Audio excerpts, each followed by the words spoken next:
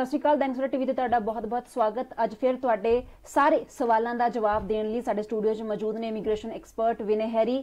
ਉਹਨਾਂ ਤੋਂ ਜਾਣਾਂਗੇ ਕਿ ਜੋ ਵੀ ਸਮੱਸਿਆਵਾਂ ਆ ਰਹੀਆਂ ਨੇ, ਕਿਉਂਕਿ ਲੋਕਡਾਊਨ ਦੇ ਚੱਲਦੇ ਬਹੁਤ ਵੱਡਾ ਅਸਰ ਇਮੀਗ੍ਰੇਸ਼ਨ ਇੰਡਸਟਰੀ ਤੇ ਵੀ ਪਿਆ ਬਹੁਤ ਸਾਰੇ ਲੋਕਾਂ ਨੇ ਬਾਹਰ ਜਾਣਾ ਸੀ ਜਾਂ ਬਾਹਰ ਜਾਣ ਦੀ ਪਲੈਨਿੰਗ ਕਰ ਰਹੇ ਸੀ। ਉਹਨਾਂ ਸਾਰਿਆਂ ਦੇ ਪਲਾਨਸ ਅੱਧ ਵਿਚਾਲੇ ਰੁਕ ਗਏ ਨੇ, ਕਿਉਂਕਿ ਪੂਰੀ ਦੁਨੀਆ ਦੀ ਹੀ ਰਫ਼ਤਾਰ ਹੌਲੀ ਹੋ ਗਈ ਹੈ। ਤੇ ਇਸ ਪੂਰੇ ਮਾਹੌਲ ਦੇ ਵਿੱਚ ਜੋ ਬਾਹਰ ਜਾਣਾ ਚਾਹੁੰਦੇ ਨੇ ਉਹਨਾਂ ਨੂੰ ਕੀ ਕਰਨਾ ਚਾਹੀਦਾ ਹੈ? ਕੀ ਉਹਨਾਂ ਦੇ ਮਨਾਂ 'ਚ ਸਵਾਲ ਨੇ ਤਾਂ ਕਿ ਉਹ ਕਿਸੇ ਤਰੀਕੇ ਦੀ ਠੱਗੀ ਦਾ ਸ਼ਿਕਾਰ ਨਾ ਹੋ ਸਕਣ ਤੇ ਕਿਵੇਂ ਸੇਫਲੀ ਅੱਗੇ ਅਪਲਾਈ ਕਰ ਸਕਦੇ? ਇਹਨਾਂ ਚੀਜ਼ਾਂ ਦਾ ਜਵਾਬ ਸਾਨੂੰ ਵਿਨੇ ਹੈਰੀ ਜੀ ਦੇਣਗੇ। ਵਿਨੇ ਜੀ ਜੋ ਹੁਣ ਮਾਹੌਲ ਬਣਿਆ ਹੋਇਆ ਜੀ। ਕਰੋਨਾ ਦਾ ਅਸਰ ਇਮੀਗ੍ਰੇਸ਼ਨ ਇੰਡਸਟਰੀ ਤੇ ਪੈ ਤਾਂ ਰਿਹਾ ਆ ਪਰ ਇਹਦੇ ਬਾਅਦ ਨਤੀਜਾ ਕੀ ਨਿਕਲੂਗਾ ਹੁਣ? ਨਤੀਜਾ ਇਹ ਹੈ ਜੀ ਕਿ ਪੂਰੀ ਦੁਨੀਆ ਦੇ ਵਿੱਚ ਮਾਈਗ੍ਰੇਸ਼ਨ ਹੁੰਦੀ ਹੈ। ਹੂੰ। ਜਦੋਂ ਵਿਦੇਸ਼ 'ਚ ਚੰਗੀ ਸਿੱਖਿਆ ਦੀ ਗੱਲ ਆਉਂਦੀ ਹੈ ਤਾਂ ਵੀ ਆਪਣੇ ਪੰਜਾਬੀ ਲੋਕ ਮੋਰੀ ਨੇ। ਕਿਤੇ ਨਾ ਕਿਤੇ ਅਸੀਂ ਲੋਕ ਬਾਹਰ ਦਾ ਸਵਾਦ ਦੇਖ ਚੁੱਕੇ ਹਾਂ। ਸਾਡੇ ਬਹੁਤ ਸਾਰੇ ਕਲਚਰ ਅੱਜ ਬਾਹਰ ਵਿਦੇਸ਼ਾਂ ਦੇ ਵਿੱਚ ਹੈ। ਕੈਨੇਡਾ ਦੇ ਵਿੱਚ ਪੰਜਾਬੀ ਭਾਸ਼ਾ ਨੂੰ ਤੀਸਰੀ ਭਾਸ਼ਾ ਦਾ ਦਰਜਾ ਦਿੱਤਾ ਜਾਂਦਾ ਹੈ। ਇੰਗਲੈਂਡ ਦੇ ਵਿੱਚ ਅੱਜ ਤਿੰਨ ਤਿੰਨ ਚਾਰ ਚਾਰ ਪੁਸ਼ਤਾਂ ਸਾਡੀਆਂ ਹੋ ਚੁੱਕੀਆਂ ਆਸਟ੍ਰੇਲੀਆ ਦੇ ਵਿੱਚ ਵੀ ਰੁਝਾਨ ਵੱਧਦਾ ਪਿਆ ਵਾ। ਅੱਜ ਦੀ ਡੇਟ 'ਚ ਹਰ ਇੱਕ ਮੁਲਕ ਨੂੰ ਪੈਸਾ ਚਾਹੀਦਾ ਵਾ। ਜਿੱਦਾਂ ਇਹ ਬਿਮਾਰੀ ਖਤਮ ਹੁੰਦੀ ਹੈ ਪੂਰੀ ਦੁਨੀਆ ਦੇ ਵਿੱਚ ਆਰਥਿਕਤਾ ਦੀ ਪ੍ਰੋਬਲਮ ਚੱਲਦੀ ਪਈ ਹੈ ਹਰ ਇੱਕ ਮੁਲਕ ਆਪਣੀ ਇਕਨੋਮੀ ਬਚਾਉਣਾ ਚਾਹੁੰਦਾ ਇਕਨੋਮੀ ਦਾ ਸਿੱਧਾ ਸਿੱਧਾ ਸੋਰਸ ਹੁੰਦਾ ਵਾ ਸਟੱਡੀ ਵੀਜ਼ਾ ਜਦੋਂ ਤੁਸੀਂ ਕਿਸੇ ਬੱਚੇ ਨੂੰ ਪੜ੍ਹਨ ਲਈ ਆਪਣੇ ਮੁਲਕ ਦੇ ਵਿੱਚ ਲਿਆਂਦੇ ਹੋ ਤਾਂ ਤੁਹਾਨੂੰ ਉਹ 5-7 10 ਲੱਖ ਰੁਪਈਆ ਦੇ ਕੇ ਆਂਦਾ ਇਮੀਡੀਏਟਲੀ ਤੁਹਾਡੇ ਕੋਲ ਪੈਸਾ ਆਉਂਦੇ ਆ। ਨਾ ਤਾਂ ਤੁਸੀਂ ਕੋਈ ਫੈਕਟਰੀ ਲਾਣੀ ਹੈ ਨਾ ਤੁਸੀਂ ਬੀ ਪਾਣਾ ਨਾ ਕਣਕ ਝੋਨਾ ਕੋਈ ਫਸਲ ਦੀ ਰਾਖੀ ਨਹੀਂ ਕਰਨੀ ਗੋਰਿਆਂ ਨੇ। ਉਹਨਾਂ ਨੇ ਸਿਰਫ ਵੀਜ਼ੇ ਖੋਲ ਦੇਣੇ ਆ। ਜਿਹੜੇ ਇੰਡੀਅਨ ਸਟੂਡੈਂਟ ਆ ਉਹ ਉਹਨਾਂ ਤੁਸੀਂ ਇੰਡੀਅਨ ਸਟੂਡੈਂਟ ਲਈ ਹਾਂ। ਤੁਸੀਂ ਇੰਡੀਅਨ ਸਟੂਡੈਂਟ ਲਈ ਵੀਜ਼ੇ ਖੋਲ ਦਿਓ ਤੁਹਾਡੇ ਮੁਲਕ 'ਚ ਪੈਸੇ ਆ ਜਾਣੇ। ਮਤਲਬ ਸ਼ੋਅ ਦੀ ਪਹਿਲੀ ਕਾਲ ਸਾਡੇ ਕੋਲ ਆ ਗਈ ਆ। ਹੈਲੋ ਹਾਂਜੀ ਹਾਂਜੀ ਕੌਣ ਗੱਲ ਕਰ ਰਿਹਾ ਜੀ? ਕਿੱਥੋਂ ਬੋਲ ਰਹੇ ਹੋ? ਮੈਂ ਬੋਲਦਾ ਦਿੱਲੀ ਤੋਂ ਜੀ। ਅੱਛਾ ਜੀ ਆਪਣਾ ਸਵਾਲ ਪੁੱਛੋ ਜੀ। ਬੱਚੇ ਦਾ ਨਾਮ ਸੌਰਵਜੀਤ ਸਿੰਘ ਹੈ ਜੀ। ਅੱਛਾ ਜੀ। ਡੇਟ ਆਫ ਬਰਥ ਹੈ 30 30 11 2003 ਹਾਂਜੀ ਕੀ ਜਾਣਨਾ ਚਾਹੁੰਦੇ ਹੋ ਤੁਸੀਂ? ਉਹਦੀ ਪੜ੍ਹਾਈ ਬੇਸ ਤੇ ਜਾਣਾ ਜੀ। ਅੱਛਾ ਜੀ ਕਿੰਨਾ ਪੜ੍ਹਿਆ ਜੀ ਬੱਚਾ ਤੁਹਾਡਾ? 10ਵੀਂ ਦੇ ਪੇਪਰ ਦਿੱਤੇ ਉਹਨੇ। ਅੱਗੇ ਦਸਵੀਂ ਦੇ? ਹਾਂਜੀ। ਹਾਂਜੀ ਤੇ 12ਵੀਂ 12ਵੀਂ ਕਰਾਓ ਜੀ 12ਵੀਂ ਤੋਂ ਬਾਅਦ ਜਾਂਦੇ ਆ ਜੀ ਬੱਚੇ ਬਾਹਰ ਪੜ੍ਹਨ ਜੀ? ਨਹੀਂ ਬਾਹਰ ਨਹੀਂ ਭੇਜਣਾ ਆਪਾਂ। ਅੱਛਾ ਜੀ ਕੀ ਜਾਣਨਾ ਚਾਹੁੰਦੇ ਜੇ? ਇੱਥੇ ਕਿਹੜੇ ਸਬਜੈਕਟ ਰਖਾਈਏ ਉਹਦੇ ਕੋਲ ਇੱਥੇ ਤੁਸੀਂ ਦੇਖੋ ਜੀ ਜੇ ਜੇ ਬੱਚੇ ਨੂੰ ਡਾਕਟਰ ਬਣਾਉਣਾ ਫਿਰ ਮੈਡੀਕਲ ਰੱਖ ਸਕਦੇ ਜੇ ਇੰਜੀਨੀਅਰ ਬਣਾਉਣਾ ਫਿਰ ਨਾਨ ਮੈਡੀਕਲ ਰੱਖ ਸਕਦੇ ਹੋ ਜੀ? ਨਹੀਂ ਤੁਹਾਡਾ ਵੀ ਕਹਿਣਾ ਤੁਹਾਡੇ ਤੁਹਾਡੀ ਤੁਹਾਡੀ ਵੀ ਇੱਛਾ ਇਹ ਤਾਂ ਹਾਂਜੀ? ਹੈਲੋ? ਹੈਲੋ ਫੋਨ ਸ਼ਾਇਦ ਸੰਪਰਕ ਇਹ ਲੱਗਦਾ ਇਹਨਾਂ ਨੇ ਐਸਟ੍ਰੋਲੋਜਰ ਨੂੰ ਫੋਨ ਲਾਣਾ ਸੀ ਕਿਸੇ ਨੂੰ ਤੇ ਸਾਨੂੰ ਲਾਤਾ। ਇਮੀਗ੍ਰੇਸ਼ਨ ਐਕਸਪਰਟ ਨੂੰ ਲਾਤਾ। ਇਹ ਸਾਰੇ ਤੁਸੀਂ ਐਸਟ੍ਰੋਲੋਜਰ ਵਾਲੇ ਕਾਲਾਂ ਸਾਨੂੰ ਦਵਾਈ ਜਾਂਦੇ ਜੀ। ਤੇ ਦਰਸ਼ਕਾਂ ਨੂੰ ਦੱਸਣਾ ਚਾਹਾਂਗਾ ਕਿ ਇਹ ਸਾਡਾ ਪ੍ਰੋਗਰਾਮ ਹੈ ਜਿਹਦੇ 'ਚ ਅਸੀਂ ਬਾਹਰ ਜਾਣ ਦੀ ਗੱਲ ਕਰਦੇ ਹਾਂ। ਜਿਹੜੇ ਬੱਚਿਆਂ ਨੇ ਵਿਦੇਸ਼ ਦੇ ਵਿੱਚ ਪੜ੍ਹਨਾ ਉਹਨਾਂ ਨੂੰ ਗਾਈਡੈਂਸ ਵਾਸਤੇ ਅਸੀਂ ਕਾਲ ਲੈ ਰਹੇ ਹਾਂ।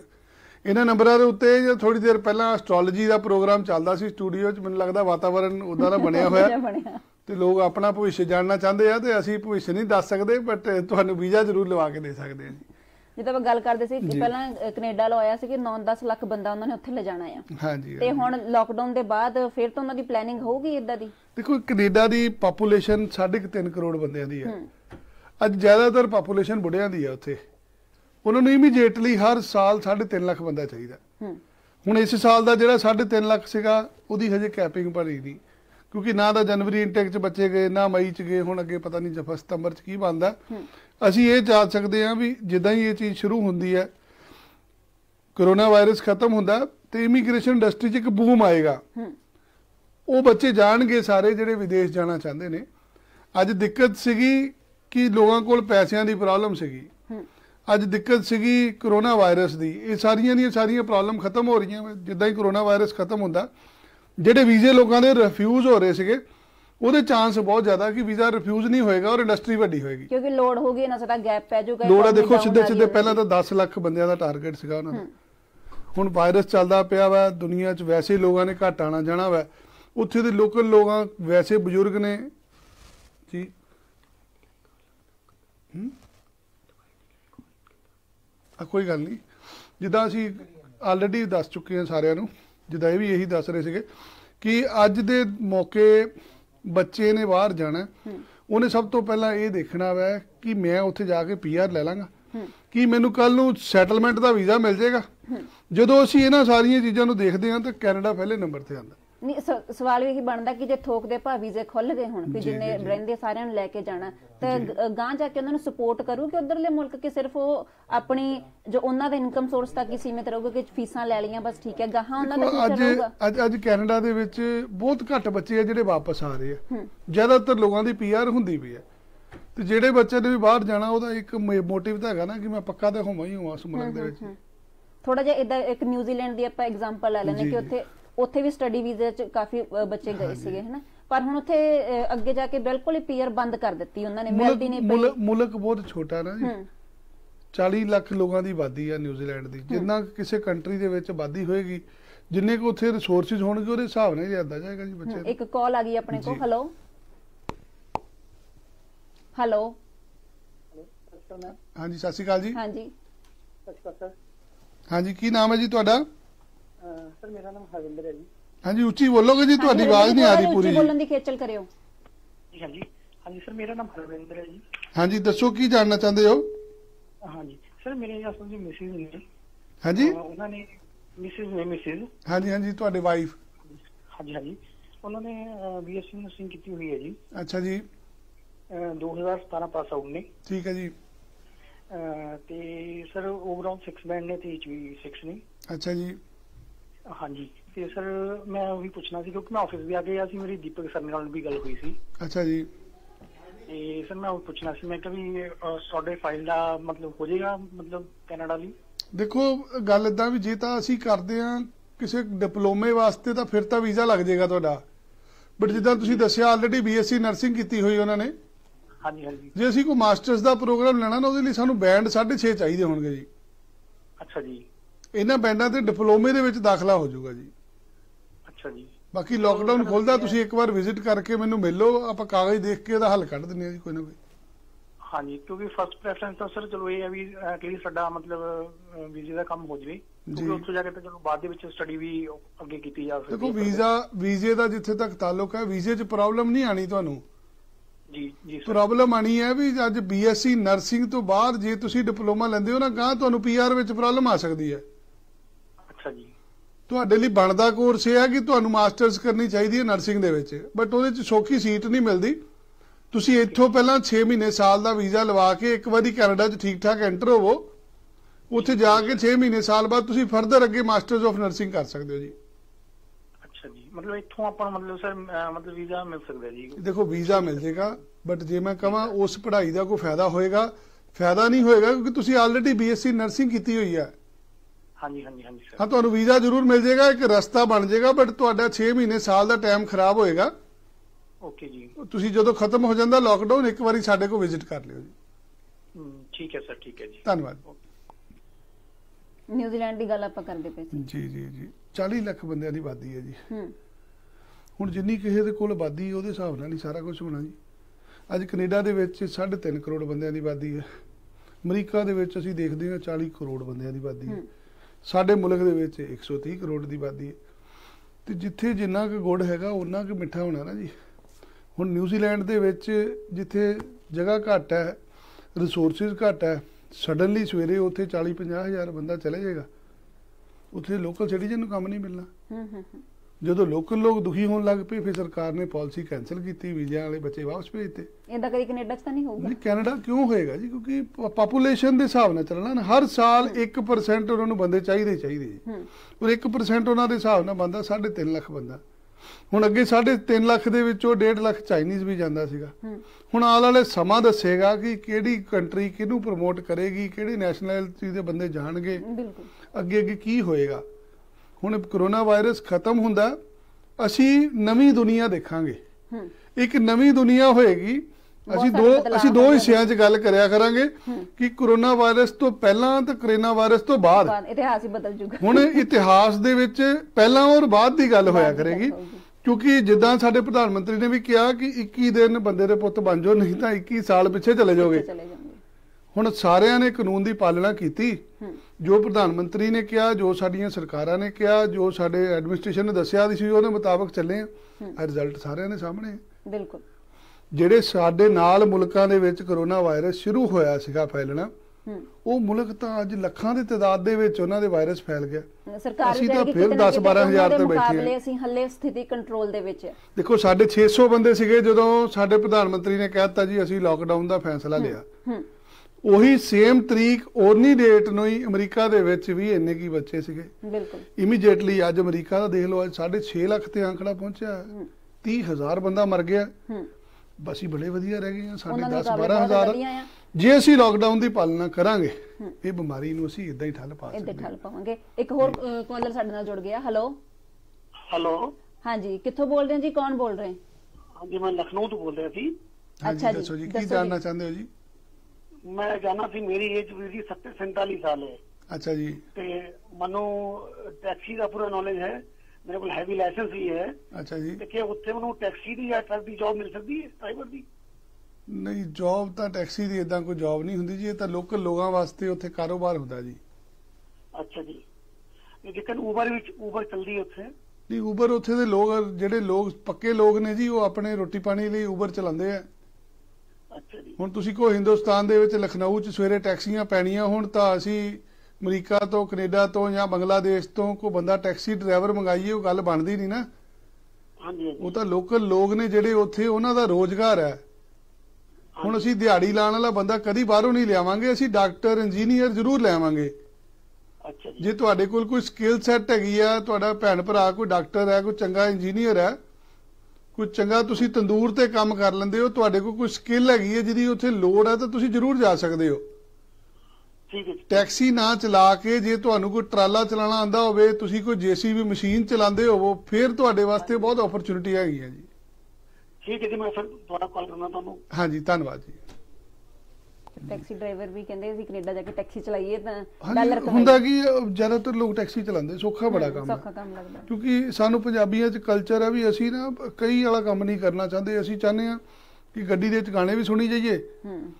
ਤੇ ਇਹੀ ਇੱਕ ਰੀਜ਼ਨ ਹੈ ਕਿ ਅੱਜ ਜ਼ਿਆਦਾਤਰ ਦੁਨੀਆ ਦੀਆਂ ਵੱਖਰੀਆਂ ਵੱਖਰੀਆਂ ਕੰਟਰੀਆਂ ਦੇ ਵਿੱਚ ਜਿਹੜਾ ਟੈਕਸੀ ਦਾ ਕਾਰੋਬਾਰ ਹੈ ਉਹ ਇੰਡੀਅਨ ਲੋਕ ਕਰਦੇ ਆ।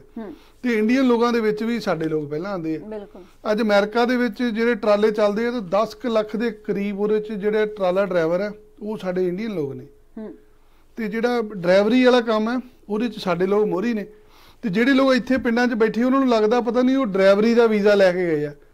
ਬਟ ਇਹ ਦੱਸਣਾ ਚਾਹੀਦਾ ਲੋਕਾਂ ਨੂੰ ਸਾਨੂੰ ਵੀ ਕਿ ਉਹ ਲੋਕ ਪੱਕੇ ਨੇ ਉੱਥੇ ਦੇ। ਜੇ ਉੱਥੇ ਦਾ ਕੋਈ ਪੱਕਾ ਵਸਨੀਕ ਹੈ ਉਹ ਰੋਟੀ ਪਾਣੀ ਲਈ ਕੋਈ ਵੀ ਕੰਮ ਕਰ ਸਕਦਾ। ਤੁਸੀਂ ਭਾਰਤੀ ਨਾਗਰਿਕ ਹੋ ਤੁਸੀਂ ਲਖਨਊ ਤੋਂ ਜਿੱਦਾਂ ਭਾਈ ਸਾਹਿਬ ਦਾ ਕਾਲ ਸੀ ਇਹ ਲਖਨਊ ਰਹਿੰਦੇ ਨੇ ਕੋਈ ਦਿੱਲੀ ਰਹਿੰਦਾ ਕੋਈ ਹੁਸ਼ਿਆਰਪੁਰ ਰਹਿੰਦਾ ਜੇ ਉਹਨੇ ਆਪਣੇ ਬੱਚਿਆਂ ਦਾ ਢਿੱਡ ਭਰਨਾ ਤੇ ਉਹ ਕੁਝ ਵੀ ਕੰਮ ਕਰ ਲੂਗਾ। ਬਿਲਕੁਲ। ਉਹ ਦਿਹਾੜੀ ਵੀ ਲਾ ਸਕਦਾ। ਤੇ ਅਸੀਂ ਸਵੇਰ ਨੂੰ ਹੁਣ ਨੇਪਾਲ ਤੋਂ ਜਾਂ ਬੰਗਲਾਦੇਸ਼ ਤੋਂ ਦਿਹਾੜੀ ਵਾਲੇ ਬੰਦੇ ਨਹੀਂ ਨਾ ਲਿਆ ਸਕਦੇ ਵੀਜ਼ੇ ਜੇ ਹੋਰ ਕੋਈ ਹੁਨਰ ਹੈਗਾ ਤਾਂ ਜ਼ਰੂਰ ਜਾ ਸਕਦੇ ਹੋ। ਹੁਨਰ ਹੋਵੇ ਤੁਹਾਡੇ ਕੋਲ ਜਿਹੜਾ ਇੱਥੇ ਨਾ ਅਵੇਲੇਬਲ ਹੋਵੇ ਫਿਰ ਤੁਸੀਂ ਬੰਦਾ ਮੰਗਾ ਸਕਦੇ ਸਕਦੇ ਹੋ। ਇੱਕ ਹੋਰ ਕਾਲ ਆ ਗਈ ਸਾਨੂੰ। Hello hello. ਹਾਂਜੀ ਦੱਸੋ ਜੀ ਕਿੱਥੋਂ ਗੱਲ ਕਰ ਰਹੇ? ਮੈਂ ਮੈਂ ਰਾਜਪੁਰਾ ਤੋਂ ਕਰ ਰਿਹਾ ਸੀ ਸਰ ਨਾਲ ਗੱਲ ਕਰਨੀ ਸੀਗੀ ਜੀ। ਹਾਂਜੀ ਹਾਂਜੀ ਵਿਨੇ ਜੀ ਦੱਸੋ ਜੀ ਦੱਸੋ ਕੀ ਜਾਣਨਾ ਚਾਹੁੰਦੇ ਹੋ? ਹਾਂਜੀ ਸਰ ਜੀ ਸਤਿ ਸ਼੍ਰੀ ਅਕਾਲ ਜੀ। ਸਤਿ ਸ਼੍ਰੀ ਅਕਾਲ ਜੀ। ਹਾਂਜੀ ਸਰ ਅਸੀਂ ਪਤਾ ਕਰਨਾ ਸੀਗਾ ਆਪਣਾ ਲੈਂਪਟਨ ਕਾਲਜ ਦਾ ਕੀਤਾ ਹੋਇਆ ਸੀਗਾ ਅਪਲਾਈ। ਅੱਛਾ ਜੀ। ਤੇ ਫੀਸ ਵਗੈਰਾ ਵੀ ਭਰੀ ਹੋਈ ਸੀਗੀ ਤੇ ਆਪਣਾ ਬੈਚ ਫੀਸ ਵੀ ਦਿੱਤੀ ਸੀਗੀ। ਤੇ ਉਸ ਤੋਂ ਬਾਅਦ ਸਰ ਵੀਜ਼ਾ ਅਪਲਾਈ ਹੁਣ ਕਰ ਸਕਦੇ? ਹਾਂ? ਹਾਂਜੀ ਤੂੰ ਮੈਡੀਕਲ ਹੋ ਗਿਆ ਹੋਇਆ ਤੁਹਾਡਾ? ਹਾਂਜੀ ਮੈਡੀਕਲ ਹੋ ਗਿਆ ਸੀ। ਹਾਂਜੀ ਆਨਲਾਈਨ ਅਪਲਾਈ ਕਰ ਲਓ ਤੁਸੀਂ ਫਾਈਲ ਆਪਣੀ ਬਟ ਉਸ ਤੋਂ ਬਾਅਦ ਬਾਇਓਮੈਟ੍ਰਿਕਸ ਹੋਣਾ ਹੈ। ਓਕੇ ਬਾਇਓਮੈਟ੍ਰਿਕ ਸਰ ਬਾਅਦ ਚ ਹੋ ਜਾਏਗਾ ਸਰ ਹਾਂਜੀ ਜਦੋਂ ਤੁਸੀਂ ਫਾਈਲ ਲਾ ਦਿਓਗੇ 90 ਦਿਨ ਦਾ ਤੁਹਾਨੂੰ ਟਾਈਮ ਮਿਲੇਗਾ। ਜਦੋਂ ਲੋਕਡਾਊਨ ਖੁੱਲ ਜਾਂਦਾ ਉਹਦੇ ਤੋਂ ਬਾਅਦ ਤੁਸੀਂ ਬਾਇਓਮੈਟ੍ਰਿਕਸ ਦੇ ਕੇ ਆਇਓ। ਠੀਕ ਹੈ ਸਰ ਤੇ ਸਰ ਹੁਣ ਵੀਜ਼ਾ ਵਗੈਰਾ ਚ ਪ੍ਰੋਬਲਮ ਤਾਂ ਨਹੀਂ ਆ ਰਹੀ? ਵੀਜ਼ੇ ਹੁਣ ਕਾਦੀ ਪ੍ਰੋਬਲਮ ਵੀਰ ਹੁਣ ਤਾਂ ਮੁੱਕ ਗਿਆ ਕੰਮ ਯਾਰ। ਚਲੋ ਠੀਕ ਹੁਣ ਤਾਂ ਵੀਜ਼ੇ ਸਾਰਿਆਂ ਨੂੰ ਮਿਲੂਗੇ ਭਰਾ। ਠੀਕ ਹੈ ਜੀ, ਧੰਨਵਾਦ ਜੀ। ਬਹੁਤ ਧੰਨਵਾਦ। ਬੈਸਟ ਆਫ ਲੱਕ ਜੀ। ਅੱਛਾ ਲਾਕਡਾਊਨ ਦੇ ਵਿਚਾਲੇ ਵੀ ਕੋਈ ਵੀਜ਼ਾ ਪ੍ਰੋਸੈਸ ਹੋ ਰਿਹਾ ਕੋਈ? ਹਾਂਜੀ, ਜਿੱਦਾਂ ਜਿੱਦਾਂ- ਤੁਸੀਂ ਕਿਹਾ ਕਿ ਆਨਲਾਈਨ ਕਰ ਸਕਦੇ ਜਿਹਦਾ ਹਾਂ। ਫੇਸਬੁੱਕ YouTube ਤੇ ਲੋਕੀ। ਫੋਟੋਆਂ ਪਾ ਰਹੇ। ਹੂੰ। ਇਦਾਂ ਹੀ ਉੱਥੇ ਵੈਬਸਾਈਟ ਹੈ ਕੈਨੇਡੀਅਨ ਇਮੀਗ੍ਰੇਸ਼ਨ ਦੀ। ਹੂੰ ਹੂੰ। ਤੁਸੀਂ ਉੱਤੇ ਲੌਗਇਨ ਆਈਡੀ ਬਣਾਣਾ ਹੈ। ਅੱਛਾ। ਤੁਸੀਂ ਆਪਣੀ ਫਾਈਲ ਸਾਰੀ ਅਪਲੋਡ ਕਰਕੇ ਕ੍ਰੈਡਿਟ ਕਾਰਡ ਨਾਲ ਫੀਸ ਦੇ ਦਿਓ। ਆਨਲਾਈਨ ਤੁਹਾਡੀ ਫਾਈਲ ਦਰਜ ਹੋ ਜਾਂਦੀ। ਜਿਹੜੀ ਬੱਚਿਆਂ ਨੂੰ ਇਹੀ ਬਾਰ-ਬਾਰ ਅਸੀਂ ਦੱਸਦੇ ਹਾਂ ਰੋਜ਼ ਕਿ ਘਰ ਬੈਠੇ ਹੋ ਰਿਸਰਚ ਕਰੋ। ਹੂੰ। ਦੇਖੋ ਆਨਲਾਈਨ ਆਫਰ ਲੈਟਰ ਕਿੱਦਾਂ ਅਪਲਾਈ ਹੁੰਦਾ। ਇਹ ਚੈੱਕ ਕਰੋ ਵੀ ਫਾਈਲ ਕਿੱਦਾਂ ਜਮ੍ਹਾਂ ਹੁੰਦੀ ਹੈ।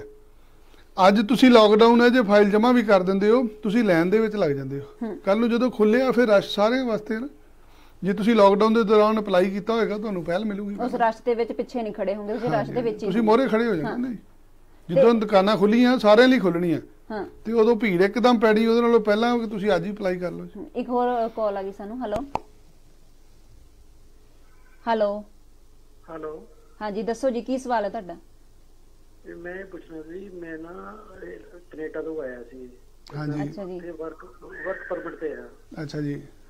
ਮੇਰਾ 25 ਜੂਨ ਨੂੰ ਵੀਜ਼ਾ ਖਤਮ ਹੋ ਰਿਹਾ। ਹਾਂਜੀ। ਤੇ ਫਿਰ ਇਹ ਕਿਵੇਂ ਜਾਣਾ? 30 ਜੂਨ ਤੱਕ ਤਾਂ ਉਹਨਾਂ ਨੇ ਫਲਾਈਟਾਂ ਬੰਦ ਕੀਤੀਆਂ ਹੋਈਆਂ ਹੈ ਹਾਂਜੀ 30 ਜੂਨ ਤੱਕ ਫਲਾਈਟਾਂ ਬੰਦ ਹੈ ਜੀ। ਇਹ ਵੀਜ਼ਾ ਮੇਰਾ 25 ਜੂ- 25 ਜੂਨ ਨੂੰ ਖਤਮ ਹੋ ਜਾਣਾ ਹੈ। ਹਾਂਜੀ ਭਾਜੀ ਫਿਰ ਔਖਾ ਜੀ ਹੁਣ ਫਲਾਈਟਾਂ ਬੰਦ ਹੈ ਪਾਣੀ ਵਾਲਾ ਜਹਾਜ਼ ਕੋ ਚੱਲਦਾ ਹੋਏ ਉਹ ਚ ਜ਼ਰੂਰ ਟਰਾਈ ਕਰ ਲਓ। ਅਦਰਵਾਈਜ਼ ਔਖਾ ਹੈ ਇਸ ਟਾਈਮ ਤੁਸੀਂ ਟਰੈਵਲ ਨਹੀਂ ਕਰ ਸਕਦੇ ਇੰਡੀਆ ਤੋਂ ਜੀ। ਨਹੀਂ ਫਿਰ ਇਹਦੇ ਬਾਅਦ ਵਿੱਚ ਕੀ ਸੋਲੂਸ਼ਨ ਹੋਊਗਾ? ਕੁਝ ਨਹੀਂ ਜੀ ਦੁਬਾਰਾ ਵੀਜ਼ਾ ਅਪਲਾਈ ਹੋਏਗਾ ਤੁਹਾਡਾ ਨਵੇਂ ਸਿਰਿਓਂ ਜੀ। ਅੱਛਾ ਜੀ ਦੁਬਾਰਾ ਵੀਜ਼ਾ ਹੋਊਗਾ? ਹਾਂਜੀ ਨਵੇਂ ਸਿਰਿਓਂ ਅਪਲਾਈ ਹੋਊਗਾ ਜੀ ਸਾਰਾ ਕੁਝ ਅੱਛਾ ਜੀ ਜੀ। ਠੀਕ। ਧੰਨਵਾਦ ਜੀ ਹੁਣ ਆਪਾਂ ਗੱਲ ਕਰਦੇ ਕਿ ਅਪਲਾਈ ਕਰ ਸਕਦੇ ਆ ਆਪਾਂ ਹਨਾ। ਇਮੀਗ੍ਰੇਸ਼ਨ ਵੈਬਸਾਈਟ ਤੇ ਜਾ ਕੇ। ਤੇ ਜੇ ਕੋਈ ਆਪਾਂ ਨੂੰ ਕਹਿੰਦਾ ਕਿ ਫੀਸ ਭਰ ਦਿਓ ਉੱਥੇ ਤੁਸੀਂ ਲੋਕਡਾਊਨ ਦੇ ਵਿੱਚ ਚਲੇ ਜਿੱਦਾਂ ਇੱਥੇ ਆਪਣੇ ਸਕੂਲਾਂ 'ਚ ਫੀਸਾਂ ਭਰਾਈ ਜਾਂਦੇ ਤੇ ਆਨਲਾਈਨ ਪੜ੍ਹਾਈ ਹੋ ਰਹੀ ਹੈ। ਜੇ ਕੋਈ ਕਹਿੰਦਾ ਉੱਥੇ ਫੀਸ ਭਰ ਦਿਓ ਫੀਸ ਭਰਨੀ ਚਾਹੀਦੀ ਇਹਨਾਂ ਦਿਨਾਂ 'ਚ ਹੁਣ? ਦੇਖੋ ਅੱਜ ਜੋ ਸਾਡੇ ਵੀ ਇੱਥੇ ਰੂਲ ਬਣਿਆ ਹੀ ਹੈ। ਕਿ ਲੋਕਡਾਊਨ ਦੇ ਟਾਈਮ ਤੇ ਕੋਈ ਸਕੂਲ ਵਾਲਾ ਫੀਸ ਨਹੀਂ ਮੰਗਦਾ ਪਿਆ। ਜਿਹੜੇ ਦੋ ਚਾਰ ਸਕੂਲਾਂ ਨੇ ਫੀਸਾਂ ਮੰਗੀਆਂ ਵੀ ਉਹਨਾਂ ਤੇ ਵੀ ਕਾਰਵਾਈ ਹੋਈ। ਐਕਸ਼ਨ ਹੋਇਆ ਹਾਂਜੀ ਉਹਨਾਂ ਤੇ। ਤੇ ਅੱਜ ਜ਼ਿੰਦਗੀ ਮੌਤ ਦੀ ਲੜਾਈ ਅਸੀਂ ਲੋਕ ਲੜਦੇ ਪਏ ਹਾਂ। ਹਰ ਬੰਦਾ ਡਰ ਦੇ ਵਿੱਚ ਹੈ ਸਹਿਮਿਆ ਹੋਇਆ ਹੈ। ਪੈਸੇ ਦੀ ਹਰ ਬੰਦੇ ਨੂੰ ਲੋੜ ਹੈ। ਇਹੋ ਜਿਹੇ ਮੌਕੇ ਫੀਸ ਨਹੀਂ ਤਾਰਨੀ ਚਾਹੀਦੀ ਬਿਲਕੁਲ ਵੀ। ਹੂੰ। ਪਹਿਲਾਂ ਹਾਲਾਤ ਦੇਖੋ ਹਾਲਾਤ ਠੀਕ ਹੁੰਦੇ ਆ। 3 ਮਈ ਤੱਕ ਦਾ ਲਾਕਡਾਊਨ ਹੈ। ਬਿਲਕੁਲ। 3 ਮਈ ਨੂੰ ਦੇਖੋ ਇਹ ਖੁੱਲਦਾ ਵਾ। ਕਿਤੇ ਬਿਮਾਰੀ ਵਧੀ ਤਾਂ ਨਹੀਂ ਜਾ ਰਹੀ। ਕਿਤੇ ਸਰਕਾਰ ਨੂੰ ਲਾਕਡਾਊਨ ਵਧਾਉਣਾ ਤਾਂ ਨਹੀਂ ਪੈਂਦਾ। ਤੁਸੀਂ ਅੱਜ ਫੀਸ ਤਾਰ ਕੇ ਬਹਿ ਜਾਓ ਕੱਲ ਨੂੰ ਤੁਸੀਂ ਕੈਨੇਡਾ ਜਾ ਹੀ ਨਾ ਪਾਓ। ਪੈਸਾ ਵੀ ਖਰਾਬ ਹੋ ਗਿਆ ਨਾ। ਅੱਜ ਤਾਂ ਤੁਹਾਡੀ ਰਕਮ ਰਕਮ ਤੁਹਾਡੀ ਤੁਹਾਡੇ ਕੋਲ ਹੈ। ਇੱਕ ਵਾਰੀ ਉੱਥੇ ਚਲੇਗੀ ਮੁੜ ਕੇ ਕਦੋਂ ਵਾਪਸ ਮਿਲਣੇ ਜੀ ਪੈਸੇ? ਬਿਲਕੁਲ। ਪੈਸੇ ਦੇ ਨਾਲ ਹੀ ਅੱਜ ਕੱਲ ਸਭ ਕੁਝ ਹੈ ਨਾ ਜੀ। ਔਰ ਇਸ ਮਾੜੀ ਘੜੀ ਦੇ ਵਿੱਚ ਤਾਂ ਪੈਸੇ ਤੁਹਾਨੂੰ ਸਾਂਭ ਕੇ ਰੱਖਣੇ ਸਾਂਭ ਚਾਹੀਦੇ ਕੇ ਰੱਖਣਾ ਚਾਹੀਦਾ। ਇੱਕ ਹੋਰ ਕਾਲ ਲੈ ਲੈਂਦੇ ਆ ਹੈਲੋ ਹੈਲੋ ਹੈਲੋ ਹਾਂਜੀ ਦੱਸੋ ਜੀ ਕਿੱਥੋਂ ਬੋਲ ਰਹੇ ਹੋ? ਕੌਣ ਗੱਲ ਕਰ ਰਹੇ ਹੋ? ਮੈਡਮ ਮੈਂ ਜਲੰਧਰੋਂ ਬੋਲ ਰਿਹਾ ਹੈਗਾ। ਹਾਂਜੀ। ਜਿਮ ਅੱਛਾ ਜੀ ਸਵਾਲ ਪੁੱਛੋ ਜੀ ਆਪਣਾ। ਹਾਂ ਮੈਡਮ ਬੇਟੇ ਵਾਸਤੇ ਪੁੱਛਣਾ ਸੀਗਾ ਮੈਰਿਜ ਦੇ ਵਾਸਤੇ। ਹਾਂਜੀ ਹਾਂਜੀ। ਦੱਸੋ ਕੀ ਜਾਣਨਾ ਚਾਹੁੰਦੇ ਹੋ ਜੀ? ਸਰ ਬੇਟੇ ਦਾ ਪੁੱਛਣਾ ਸੀਗਾ ਮੈਰਿਜ ਦਾ। ਬੇਟੇ ਦਾ ਕੀ ਪੁੱਛਣਾ ਤੁਸੀਂ?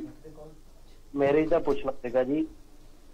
ਇੱਕ ਮੈਰਿਜ ਦਾ ਕੀ ਪੁੱਛਣਾ ਚਾਹੁੰਦੇ ਹੋ ਜੀ? ਮੈਨੂੰ ਲੱਗਦਾ ਜੀ ਫਿਰ ਤਾਂ ਕੋਈ ਹੈਲੋ ਹਾਂਜੀ ਆਵਾਜ਼ ਨਹੀਂ ਆ ਰਹੀ ਸ਼ਾਇਦ। ਆਪਾਂ ਉੱਥੇ ਗੱਲ ਤੇ ਆ ਜਾਂਦੇ ਕਿ ਫੀਸ ਭਰਨੀ ਤੁਸੀਂ ਕਹਿੰਦੇ ਕਿ ਨਹੀਂ ਚਾਹੀਦੀ ਕੋਈ ਵੀ ਫੀਸ ਨਹੀਂ ਫੀਸ ਨਾ ਭਰੇ ਹਲੇ। ਜੀ ਜੀ। ਦੇਖੋ ਅਸੀਂ ਆਲਰੇਡੀ ਵੀ ਪਹਿਲਾਂ ਵੀ ਰਿਕੁਐਸਟ ਕੀਤੀ ਸੀ ਕਿ ਇਸ ਪ੍ਰੋਗਰਾਮ ਤੋਂ ਪਹਿਲਾਂ ਐਸਟ੍ਰੋਲੋਜੀ ਦਾ ਪ੍ਰੋਗਰਾਮ ਚੱਲਦਾ ਸੀ। ਤੇ ਮੈਨੂੰ ਹੱਥ ਦੇਖਣਾ ਨਹੀਂ ਆਂਦਾ ਮੈਂ ਕੋਸ਼ਿਸ਼ ਕਰਦਾ ਪਿਆ ਕਿ ਮੈਂ ਥੋੜੀ ਦੇਰ ਪਹਿਲਾਂ ਜਦੋਂ ਪੰਡਤ ਜੀ ਦਾ ਪ੍ਰੋਗਰਾਮ ਵੀ ਦੇਖ ਰਿਹਾ ਸੀ ਐਸਟ੍ਰੋਲੋਜੀ ਦਾ ਉਹਦੇ ਵਿੱਚ ਵੀ ਜ਼ਿਆਦਾਤਰ ਗੱਲਾਂ ਬਾਹਰ ਜਾਣ ਦੀਆਂ ਹੀ ਹੋ ਰਹੀਆਂ ਸੀ। ਤੇ ਮੈਨੂੰ ਐ ਲੱਗਾ ਵੀ ਇਹ ਕੋਈ ਕੰਪੀਟੀਟਰ ਬੈਠੇ ਆ ਮੇਰੇ।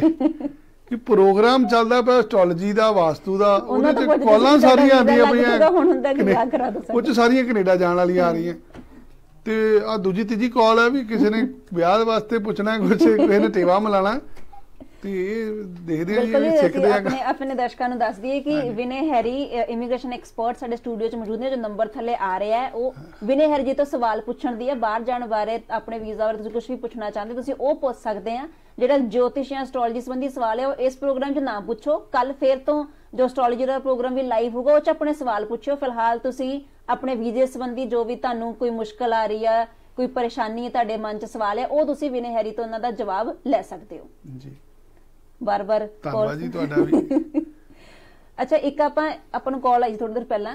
ਕਿ ਉਹ ਕਹਿੰਦੇ ਜੀ ਅਸੀਂ ਬੀਐਸਸੀ ਕੀਤੀ ਹੋਈ ਆ। ਜਦੋਂ ਜਦੋਂ ਆਪਾਂ ਹਾਇਰ ਸਟੱਡੀਜ਼ ਕਰਦੇ ਆ ਕੀ ਆਪਣੇ ਵੀਜ਼ਾ ਚਾਂਸਸ ਘਟਦੇ ਜਾਂਦੇ ਗਾਹਾਂ? ਜੇ ਆਪਾਂ ਸਟੱਡੀ ਬੇਸ ਤੇ ਜਦੋਂ। ਹਾਇਰ ਸਟੱਡੀ ਕਰਦੇ ਆ ਚਾਂਸ ਨਹੀਂ ਘਟਦੇ ਆਪਣੇ ਐਡਮਿਸ਼ਨ ਦੇ ਚਾਂਸ ਘਟ ਜਾਂਦੇ। ਅੱਛਾ ਜੀ। ਤੁਸੀਂ ਪਲੱਸ 2 ਕੀਤੀ ਹੈ। ਤੁਸੀਂ ਪਲੱਸ 2 ਤੋਂ ਬਾਅਦ ਕੋਈ ਵੀ ਪੜ੍ਹਾਈ ਲੈ ਸਕਦੇ ਹੋ। ਤੁਹਾਡੇ ਕੋਲ ਆਪਸ਼ਨ ਜ਼ਿਆਦਾ ਹੁੰਦੇ two ਤੁਸੀਂ ਇੱਕ ਨਰਸਿੰਗ ਕਰ ਲਈ। ਹੁਣ ਮੈਂ ਤੁਹਾਨੂੰ ਪਲੰਬਰ ਦੇ ਕੋਰਸ ਕਿੱਦਾਂ ਭੇਜਾਂ। ਤੁਸੀਂ ਇੰਜੀਨੀਅਰਿੰਗ ਨਹੀਂ ਕਰ ਸਕਦੇ ਤੁਹਾਨੂੰ ਕੰਪਿਊਟਰ ਸਾਇੰਸ ਨਹੀਂ ਭੇਜ ਸਕਦਾ ਤੁਹਾਨੂੰ ਬਿਜ਼ਨਸ ਦੇ ਕੋਰਸ ਨਹੀਂ ਭੇਜ ਸਕਦਾ। ਤੁਹਾਨੂੰ ਸਿਰਫ ਨਰਸਿੰਗ 'ਚ ਹੀ ਭੇਜਣਾ ਪੈਣਾ। ਹੁਣ ਤੁਸੀਂ ਬੀਐਸਸੀ ਕਰ ਲਈ ਤੁਹਾਨੂੰ ਡਿਪਲੋਮਾ ਵੀ ਨਹੀਂ ਦੇ ਸਕਦੇ।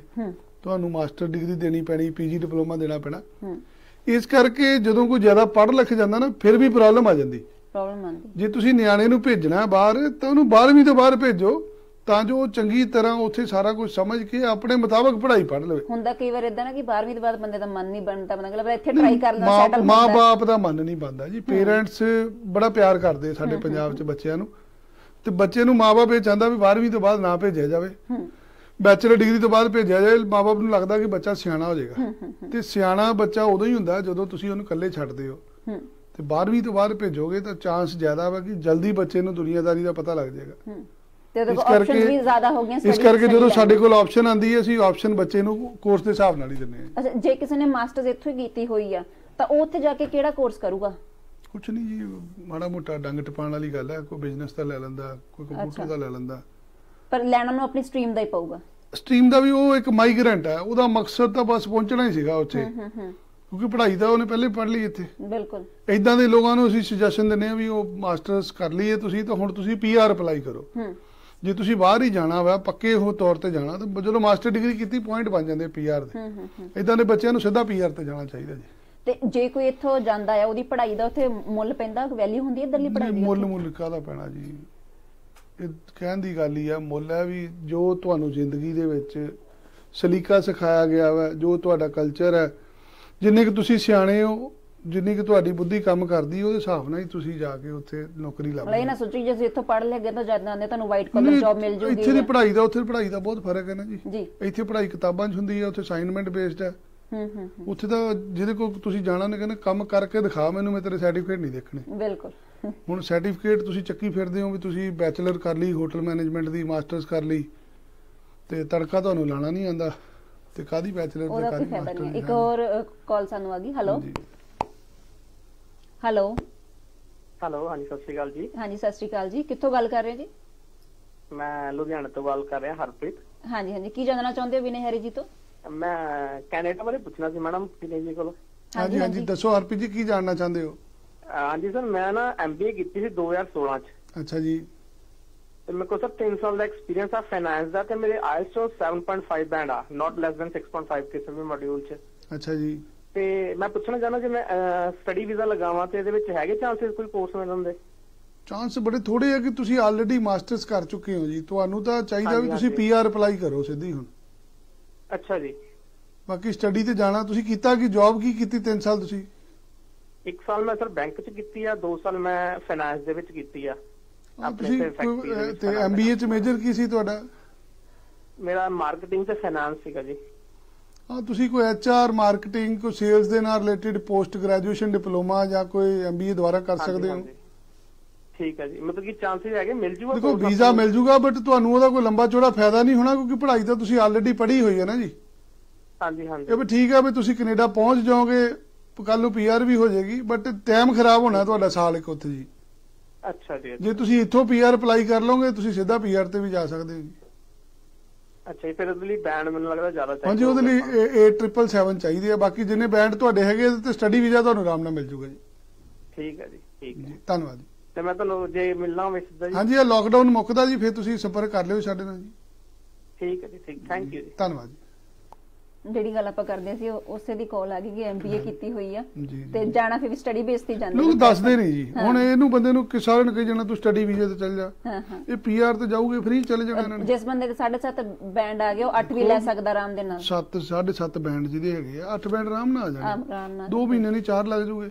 ਹੁਣ ਇਹੋ ਜਿਹੇ ਬੱਚੇ ਨੂੰ ਜਦੋਂ ਅਸੀਂ ਸਟੱਡੀ ਦਾ ਤੋਰਦੇ ਆ ਫਿਰ ਉਹ ਗੁੰਮਰਾਹ ਕਰਨ ਵਾਲੀ ਗੱਲ ਹੈ। ਅੱਛਾ ਜਿੱਦਾਂ ਲੋਕਡਾਊਨ 'ਚ ਬਾਕੀ ਚੀਜ਼ਾਂ ਆਨਲਾਈਨ ਚੱਲਦੀਆਂ ਪਈਆਂ ਤੁਸੀਂ ਵੀ ਵੀਡੀਓ ਕਾਲ ਤੇ ਅਵੇਲੇਬਲ ਹੁੰਦੇ? ਅਸੀਂ ਘੱਟ ਹੀ ਜੀ ਇਹਨਾਂ ਕਿੱਥੇ ਸਟ੍ਰੈਸ ਹੀ ਬੜੀ ਹੈ ਜੀ। ਟੈਨਸ਼ਨ ਹੀ ਬੜੀ ਹੁੰਦੀ ਸਾਰਾ ਦਿਨ ਪਤਾ ਨਹੀਂ ਕੀ ਬਣਨਾ ਕੀ ਨਹੀਂ। ਤੇ ਜੇ ਤੁਹਾਨੂੰ ਕਿਸੇ ਨੇ ਸਵਾਲ ਪੁੱਛਣਾ ਹੋਵੇ ਸ਼ੋਅ ਦੇ ਇਲਾਵਾ? ਆਰ ਪਹਿਲੇ 1:30 ਵਜੇ ਤੋਂ 2 ਵਜੇ ਦਾ ਟਾਈਮ ਰੱਖਿਆ ਸੀ ਜੀ ਅੱਜ ਟੈਕਨੀਕਲ ਕਾਰਨ ਸੀਗਾ ਕੋਈ ਮੈਂ ਲੇਟ ਹੋ ਗਿਆ ਸੀ। ਤੇ ਅਦਰਵਾਈਜ਼ 1:30 ਤੋਂ 2 2:30 3 ਵਜੇ ਤੱਕ ਰੋਜ਼ ਹੈਗੇ ਜਦੋਂ ਮਰਜ਼ੀ ਕਾਲ ਕਰੇ ਜੀ। ਠੀਕ ਹੈ ਇੱਕ ਹੋਰ ਕਾਲ ਆ ਗਈ। ਹੈਲੋ ਜੀ। ਹੈਲੋ ਸਤਿ ਸ਼੍ਰੀ ਅਕਾਲ ਮੈਮ ਹਾਂਜੀ ਸਤਿ ਸ਼੍ਰੀ ਅਕਾਲ ਜੀ। ਦੱਸੋ ਜੀ ਕੀ ਜਾਣਨਾ ਚਾਹੁੰਦੇ ਹੋ? ਹਾਂਜੀ ਗਨੇ ਹੱਜੀ ਨਾਲ ਗੱਲ ਕਰ ਲਈ ਹਾਂਜੀ ਹਾਂਜੀ ਸਤਿ ਸ਼੍ਰੀ ਅਕਾਲ ਜੀ। ਦੱਸੋ ਜੀ ਕੀ ਜਾਣਨਾ ਚਾਹੁੰਦੇ ਹੋ? ਹਾਂਜੀ ਠੀਕ ਹੋ ਜੀ। ਹਾਂਜੀ ਵਧੀਆ ਬਾਈ ਜੀ। ਹਾਂਜੀ ਹਾਂਜੀ। ਸਰ ਜੀ ਮੈਂ ਜਸਟ ਇਹੀ ਪੁੱਛਣਾ ਤੁਹਾਡੇ ਤੋਂ ਓਪਨ ਵਰਕ ਪਰਮਿਟ ਦੀ ਫਾਈਲ ਅਪਲਾਈ ਕੀਤੀ ਹੋਈ ਹੈ ਜੀ। ਅੱਛਾ ਜੀ। ਬਾਇਓਮੈਟ੍ਰਿਕ ਹੋ ਗਈ। ਅਤੇ ਜਿਹੜਾ ਮੇਰਾ ਮੈਡੀਕਲ ਸੀ ਉਹ 11 ਮਾਰਚ ਨੂੰ ਓਕੇ ਹੋ ਗਿਆ ਸੀਗਾ ਮੇਲ ਆਈ ਸੀ ਬੈਂਸੀ ਵੱਲੋਂ ਜੀ। ਅੱਛਾ ਜੀ। ਮਤਲਬ ਤੁਹਾਡਾ ਜਿਹੜਾ ਮੈਡੀਕਲ ਉਹ ਰਿਸੀਵ ਕਰ ਲਿਆ ਤੇ ਸਰ ਹਜੇ ਤੱਕ ਰਿਜ਼ਲਟ ਨਹੀਂ ਆਇਆ ਜੀ ਉਹਦਾ ਹਾਂਜੀ 90 ਦਿਨ ਦਾ ਪ੍ਰੋਸੈਸ ਹੁੰਦਾ ਜੀ ਇਹਦਾ ਹਜੇ ਥੋੜੀ ਰਿਜ਼ਲਟ ਆਣਾ ਜੀ ਇਹਦਾ। ਅੱਛਾ ਅੱਛਾ ਸਰ। ਜਿਹੜੀ ਵਰਕ ਪਰਮਿਟ ਦੀ ਫਾਈਲ ਹੈ ਨਾ ਜੀ ਇਹ 90 ਦਿਨ ਲੱਗਦੇ ਆ ਜੀ ਇਹਨੂੰ। ਅੱਛਾ ਅੱਛਾ ਸਰ ਸਟੱਡੀ ਵੀਜ਼ੇ ਨੂੰ 45 ਦਿਨ ਲੱਗਦੇ ਆ ਵਰਕ ਪਰਮਿਟ ਨੂੰ 90 ਦਿਨ ਲੱਗਦੇ ਆ ਜੀ। ਅੱਛਾ ਅੱਛਾ ਠੀਕ ਹੈ ਜੀ। ਧੰਨਵਾਦ। ਸਰ ਜਿਹੜੇ ਚਲੋ ਠੀਕ ਹੈ ਓਕੇ ਹਾਂਜੀ ਵੇਟ ਕਰੋ ਤੁਸੀਂ ਥੋੜੀ ਦੇਰ ਅਜੇ। ਓਕੇ। ਓਕੇ ਜੀ। ਇਹ ਜਿਹੜਾ ਵਰਕ ਪਰਮਿਟ ਹੈ ਮਿਲਦਾ ਹੈਗਾ ਕੈਨੇਡਾ ਦਾ? ਵੀਜ਼ਾ ਖੋਲਦਾ ਵਰਕ ਪਰਮਿਟ ਦੇ? ਹਾਂਜੀ ਮਿਲ ਜਾਂਦਾ ਜੇ EMPLOYER ਵਧੀਆ ਹੋਵੇ ਜਿੱਥੇ। ਤੁਸੀਂ ਅਪਲਾਈ ਕੀਤਾ ਹੋਵੇ। ਨਹੀਂ ਮਤਲਬ ਉਹ ਉੱਥੋਂ ਸਪਾਂਸਰ ਮੰਗਾਣੀ ਪੈਂਦੀ ਏਮਪਲੋਇਰ ਦੇ ਕੋਲੋਂ ਜਾਂ ਨਹੀਂ ਇੱਥੋਂ ਸਪਾਂਸਰ ਕਾਦੀ ਪ੍ਰੋਪਰ ਉਧਰੋਂ ਕਾਗਜ਼ ਆਉਂਦੇ ਜੀ ਨੌਕਰੀ ਦੇ। ਅੱਛਾ ਜੀ। ਪਹਿਲਾਂ ਤੁਸੀਂ ਆਪਣਾ ਸੀਵੀ ਭੇਜ ਦਿਓ ਫਿਰ ਤੁਹਾਡੀ ਇੰਟਰਵਿਊ ਹੁੰਦੀ ਹੈ। ਹੂੰ। ਫਿਰ ਪ੍ਰੋਪਰ ਐਲਐਮਆਈ ਆਉਂਦੀ ਉਸ ਤੋਂ ਬਾਅਦ ਅਪਲਾਈ ਹੁੰਦਾ ਜੀ। ਤੇ ਉੱਥੇ ਤੁਹਾਡੇ ਲਿੰਕ ਹੋਣੇ ਚਾਹੀਦੇ ਫਿਰ ਹੀ ਇਹ ਹਾਂਜੀ ਉੱਥੇ ਲਿੰਕ ਹੋਵੇ ਜਾਂ ਉੱਥੇ ਕੋਈ ਤੁਹਾਨੂੰ ਕੋਈ ਤੁਹਾਡੀ ਪੈਰਵਾਈ ਕਰਨ ਵਾਲਾ ਉੱਥੇ ਵਕੀਲ ਹੋਵੇ ਫਿਰ ਹੀ ਹੁੰਦਾ ਜੀ। ਜੇ ਭਈ ਜਿੱਦਾਂ ਆਪਾਂ ਸਟੱਡੀ ਇੱਥੋਂ ਜਾਂਦੇ ਸਟੱਡੀ ਵੀਜ਼ਾ ਲਵਾਉਣ ਸਿੱਧਾ ਅਪਲਾਈ ਕਰਦੇ ਆ ਆਫਰ ਲੈਟਰ ਆਂਦੀ ਤੇ ਆਪਾਂ ਚੱਲ ਜਾਂਦੇ। ਇਦਾਂ ਵਰਕ ਵੀਜ਼ਾ ਨਹੀਂ ਇਦਾਂ ਉੱਥੇ ਪਹਿਲਾਂ ਤੁਸੀਂ ਕਿਸੇ ਕੋ ਨੌਕਰੀ ਅਪਲਾਈ ਕਰਦੇ ਹੋ। ਹੂੰ। ਜਿਹਦੇ ਕੋ ਅਪਲਾਈ ਕਰਦੇ ਹੋ ਅਗਲਾ ਦੇਖਦਾ ਤੁਹਾਡੀ ਸਕਿੱਲ ਸੈੱਟ ਉਹਨੂੰ ਲੱਗਦਾ ਤੁਸੀਂ ਕਾਬਲ ਹੈਗੇ ਹੋ। ਫਿਰ ਉਹ ਤੁਹਾਡੇ ਵਾਸਤੇ ਕਾਗਜ਼ ਅਰੇਂਜ ਕਰਾ ਕੇ ਦਿੰਦਾ। ਅੱਛਾ ਜਿਹੜੇ ਵੀ ਕਾਗਜ਼ ਇਹਨਾਂ ਨੂੰ ਕੀ ਐਲਐਮਆਈ ਐਲਐਮਆਈ ਕਹਿੰਦੇ ਜੀ। ਇਹ ਇਹਦਾ ਵੀ ਪਿੱਛੇ ਜੇ ਰੌਲਾ ਪਿਆ ਸੀਗਾ ਕਿ ਇਹ ਉੱਤੇ ਵੀ ਸਖਤਾਈ ਵਰਤ ਰਹੀ ਸਰਕਾਰ ਹਾਂਜੀ ਰੌਲਾ ਵੀ 20 25 ਲੱਖ ਰੁਪਈਆ ਲਈ ਜਾਂਦੇ ਜੀ ਲੋਕੀ ਹਾਂ। ਭੇਜਣ ਦਾ। ਹੁੰਦਾ ਇਹ ਫ੍ਰੀ ਚ ਕੰਮ। ਅੱਛਾ। ਕੋਈ 25 ਲੱਖ ਲੈ ਲੈਂਦਾ ਕੋਈ 30 ਲੱਖ ਲੈ ਲੈਂਦਾ। ਇਹ ਹੁਣ ਉੱਥੇ ਸਰਕਾਰ ਨੂੰ ਵੀ ਪਤਾ ਲੱਗ ਗਈ ਇਹ ਚੀਜ਼ ਅਖਬਾਰਾਂ 'ਚ ਵੀ ਆਂਦੀ ਪਈ ਹੈ ਹੂੰ ਹੂੰ। ਲੋਕਾਂ ਨਾਲ ਫਰਾਡ ਵੱਧਦੇ ਪਏ ਆ। ਲੋਕੀ ਲੈ ਕੇ ਮੁੱਕਰ ਜਾਂਦੇ। ਲੋਕ ਇੱਥੋਂ ਵਿਜ਼ਟਰ ਵੀਜ਼ਾ ਲੈ ਕੇ ਚੱਲ ਜਾਂਦੇ ਉੱਥੇ ਜਾ ਕੇ ਐਲਐਮਆਈ ਬਾਈ ਕਰ ਲੈਂਦੇ ਜੀ। ਲੋਕਾਂ ਨੇ ਇਹਨੂੰ ਧੰਦਾ ਬਣਾ ਲਿਆ ਜੀ। ਉਹ ਤਾਂ ਬਸ 25 30 ਲੱਖ ਦਵੋ ਤੇ ਤੁਹਾਡੇ ਹੱਥ ਚ ਆ ਬਸ ਜਾਂਦੀ। ਬਸ ਬਸ। ਇੱਕ ਦੋ ਨੰਬਰ ਦਾ ਕੰਮ ਹੈ ਜੀ ਸਾਰਾ। ਅਸੀਂ ਇਹਨੂੰ ਪ੍ਰਮੋਟ ਨਹੀਂ ਕਰਦੇ। ਬਿਲਕੁਲ। ਇੱਕ ਹੋਰ ਕਾਲ ਆ ਗਈ ਸਾਡੇ ਕੋਲ। ਹੈਲੋ ਹਾਂਜੀ ਦੱਸੋ ਜੀ ਕੀ ਪੁੱਛਣਾ ਚਾਹੁੰਦੇ ਹੋ? ਮੈਡਮ ਜਿਹੜਾ ਲਾਈਕ ਜਿੱਦਾਂ ਹੁਕਮਾਂ ਕਰ ਰਿਹਾ ਜਿਹੜੀ ਬੇਟੀ ਸੀ ਉਹਨਾਂ ਨੇ ਆਈਲੈਟਸ ਕਰ ਲਈ ਸੀ। ਅੱਛਾ ਜੀ। ਤੇ ਹਾਂਜੀ। ਤੇ ਆਨਲਾਈਨ ਪੇਪਰ ਦੇ ਸਕਦੇ ਆ ਜਿਹੜਾ ਉਹਨਾਂ ਨੇ ਫੀਸ ਜਮ੍ਹਾਂ ਕਰਾਤੀ ਸੀ ਸਾਰੀ। ਦੱਸੋ ਜੀ ਫੀਸ ਜਮ੍ਹਾਂ ਕਰਾਤੀ ਆਨਲਾਈਨ ਪੇਪਰ ਦੇ ਦਿੱਤਾ ਉਹਨਾਂ ਨੇ। ਤੁਸੀਂ ਕਾਹਦਾ ਪੇਪਰ ਦਿੱਤਾ ਜੀ ਆਨਲਾਈਨ ਸਾਰੇ ਪੇਪਰ ਦੇ ਦਿੱਤੇ ਜੀ ਇਹਨਾਂ ਨੇ। ਪੇਪਰ ਦੇ ਸਕਦੇ ਜਿਹੜੇ ਇਨਟੇਕ ਆਣਾ ਸਰ ਜੂਨ ਦਾ। ਹਾਂਜੀ ਤੁਸੀਂ ਆਨਲਾਈਨ ਕਲਾਸਿਸ ਬਾਰੇ ਜਾਣਨਾ ਚਾਹੁੰਦੇ ਹੋ? ਹਾਂਜੀ ਸਰ। ਕਿੰਨੇ ਪੈਸੇ ਤਾਰੇ ਹੋਏ ਤੁਸੀਂ? ਹਾਂਜੀ ਸਰ। ਤੁਸੀਂ ਤੁਸੀਂ ਫੀਸ ਕਿੰਨੀ ਤਾਰੀ ਹੋਈ ਹੈ ਜੀ? ਅਸੀਂ ਫੀਸ ਉਤਾਰੀ ਹੈ ਜੀ 850 ਹਾਂਜੀ? 850 ਸਰ। 8 ਲੱਖ 50 ਹਜ਼ਾਰ ਰੁਪਏ ਤਾਰਿਆ ਤੁਸੀਂ। ਹਾਂਜੀ। ਇਹ 8 ਲੱਖ 50 ਹਜ਼ਾਰ ਰੁਪਏ ਤੁਸੀਂ ਉੱਥੇ ਜਾਣ ਦਾ ਦਿੱਤਾ ਤੁਸੀਂ ਆਨਲਾਈਨ ਪੜਨ ਦਾ ਨਹੀਂ ਦਿੱਤਾ ਹੋਇਆ ਜੀ। ਜੇ ਤੁਸੀਂ ਇਹ ਪੜ੍ਹਾਈ ਸ਼ੁਰੂ ਕਰ ਲਈ ਨਾ ਇਹ ਪੈਸੇ ਤੁਹਾਡੇ ਆ ਇਦਾਂ ਹੀ ਆਨਲਾਈਨ 'ਚ ਹੀ ਖਤਮ ਹੋ ਜਾਣੇ ਸਾਰੇ ਜੀ। ਕੱਲ ਨੂੰ ਬੱਚੇ ਨੇ ਜਦੋਂ ਉੱਥੇ ਟਰੈਵਲ ਕਰਨਾ ਉੱਥੇ ਜਾ ਕੇ ਬੱਚੇ ਨੂੰ ਦੁਬਾਰਾ ਪੜਨ ਵਾਸਤੇ ਫੀਸ ਫੇਰ ਦੇਣੀ ਪੈਣੀ ਹੈ ਜੀ। ਠੀਕ ਹੈ ਜੀ। ਇਹ ਕੋਈ ਆਨਲਾਈਨ ਪੜ੍ਹਾਈ ਤੁਹਾਨੂੰ ਫ੍ਰੀ ਨਹੀਂ ਪੜ੍ਹਾ ਰਹੇ ਜੀ। ਇਹ ਘਰ ਜਿਹੜੀ ਤੁਸੀਂ ਪੜ੍ਹਾਈ ਪੜ੍ਹਨੀ ਸ਼ੁਰੂ ਕਰੋਗੇ ਆਨਲਾਈਨ ਇਹਦੇ ਪੈਸੇ ਲੱਗਣੇ ਆ ਜੀ। ਔਰ ਇਹਦੇ ਪੈਸੇ ਥੋੜੇ ਨਹੀਂ ਲੱਗਣੇ 5 5.5 ਲੱਖ ਰੁਪਏ ਲੱਗ ਜਾਣਾ ਜੀ। ਤੇ ਮਿਲਣਾ ਹੈ ਤਾਂ ਉਹ ਅਗਰ- ਨਹੀਂ ਮਿਲਣ ਵਾਲਾ ਹਜੇ ਸੋਸ਼ਲ ਡਿਸਟੈਂਸਿੰਗ ਹੈ ਜੀ। ਤੁਸੀਂ ਅੱਜ ਜਦੋਂ ਲੋਕਡਾਊਨ ਖਤਮ ਹੋ ਜਾਂਦਾ ਉਸ ਤੋਂ ਬਾਅਦ ਸੰਪਰਕ ਕਰ ਲਿਓ ਸਾਡੇ ਨਾਲ। ਹਾਂਜੀ? ਚੰਡੀਗੜ੍ਹ ਹਾਂਜੀ ਚੰਡੀਗੜ੍ਹ ਜਾਂ ਜਲੰਧਰ ਦੋ ਸਾਡੇ ਦਫ਼ਤਰ ਹੈ ਜੀ। ਜਦੋਂ ਲੋਕਡਾਊਨ ਮੁੱਕ ਜਾਂਦਾ ਫਿਰ ਤੁਸੀਂ ਵਿਜ਼ਿਟ ਕਰ ਲਿਓ। ਬਟ ਆਨਲਾਈਨ ਕਲਾਸਾਂ ਦੇ ਚੱਕਰ 'ਚ ਨਾ ਪਿਓ ਤੁਸੀਂ ਆਪਦੇ ਪੈਸੇ ਖਰਾਬ ਕਰ ਲੈਣੇ ਤੁਸੀਂ।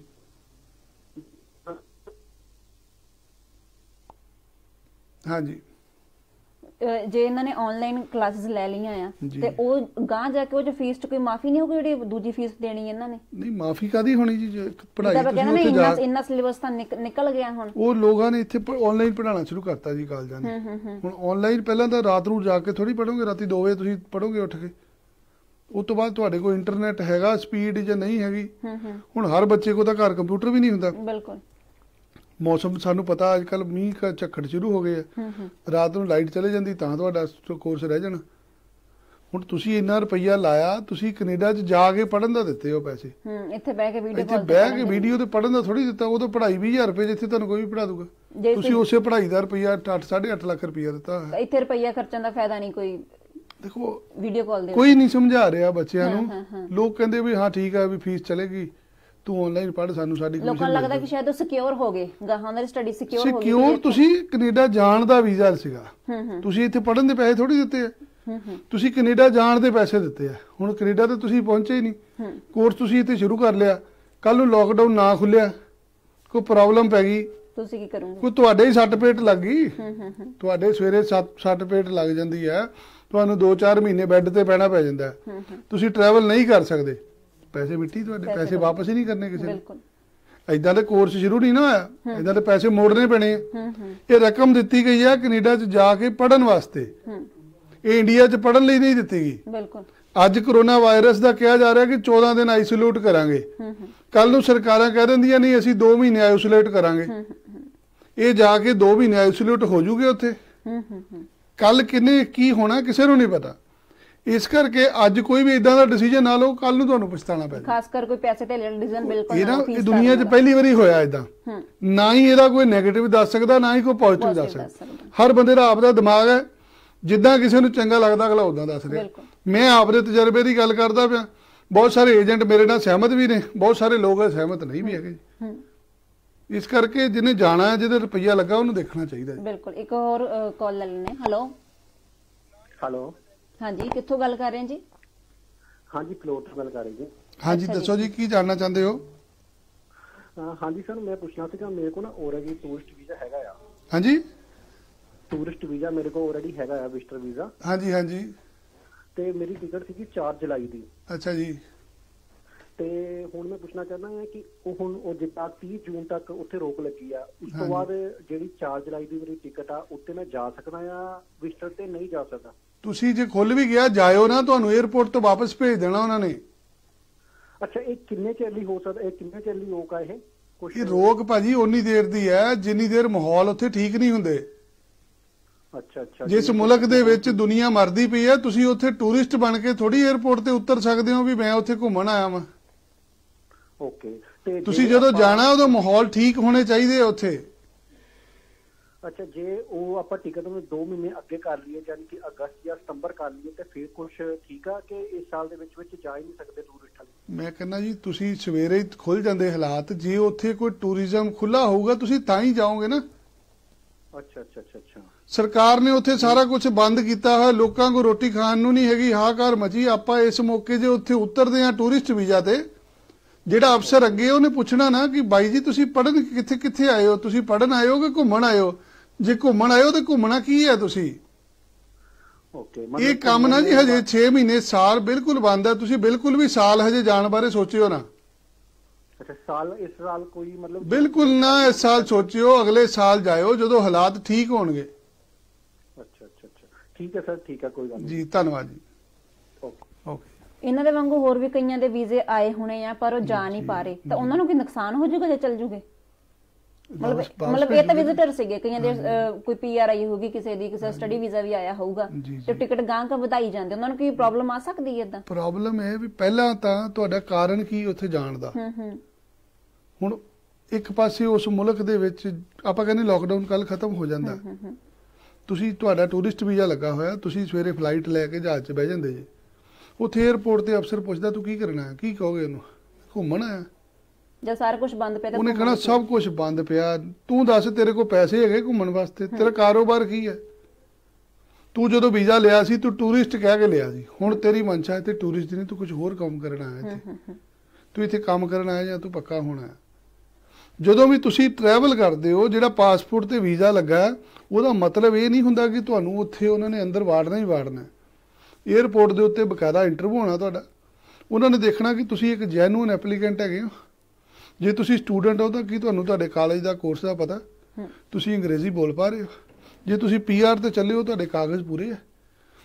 ਇਦਾਂ ਦੇ ਸਾਰੇ ਐਵੀਡੈਂਸ ਹੁੰਦੇ ਆ ਤਾਂ ਹੀ ਤੁਹਾਨੂੰ ਐਂਟਰੀ ਮਿਲਦੀ ਹੈ ਜੇ ਵੀਜ਼ਾ ਜੇ ਹੈਗਾ ਜੇ ਟੂਰਿਸਟ ਵੀਜ਼ਾ ਜੇ 2 ਸਾਲ ਦਾ 3 ਸਾਲ ਦਾ ਲੱਗਦਾ ਆ ਜੇ। ਇਸ ਸਾਲ ਨਹੀਂ ਜਾਂਦੇ ਅਗਲੇ ਸਾਲ ਜਾਣ ਤਾਂ ਸੇਫ ਹੈ ਉਸੇ ਵੀਜ਼ੇ ਤੇ ਜਾ ਸਕਦੇ ਹਾਂਜੀ ਹੋ ਜਾ ਸਕਦੇ ਜੀ, ਜਦੋਂ ਤੱਕ ਵੀਜ਼ਾ ਵੈਲਿਡ ਹੈ ਟਰੈਵਲ ਕਰ ਸਕਦੇ ਜੀ, ਬਿਲਕੁਲ। ਇੱਕ ਹੋਰ ਕਾਲ ਲੈ ਲੈਂਦੇ ਹਾਂ ਹੈਲੋ ਹੈਲੋ ਹਾਂਜੀ ਦੱਸੋ ਜੀ ਕਿੱਥੋਂ ਗੱਲ ਕਰ ਰਹੇ ਹੋ?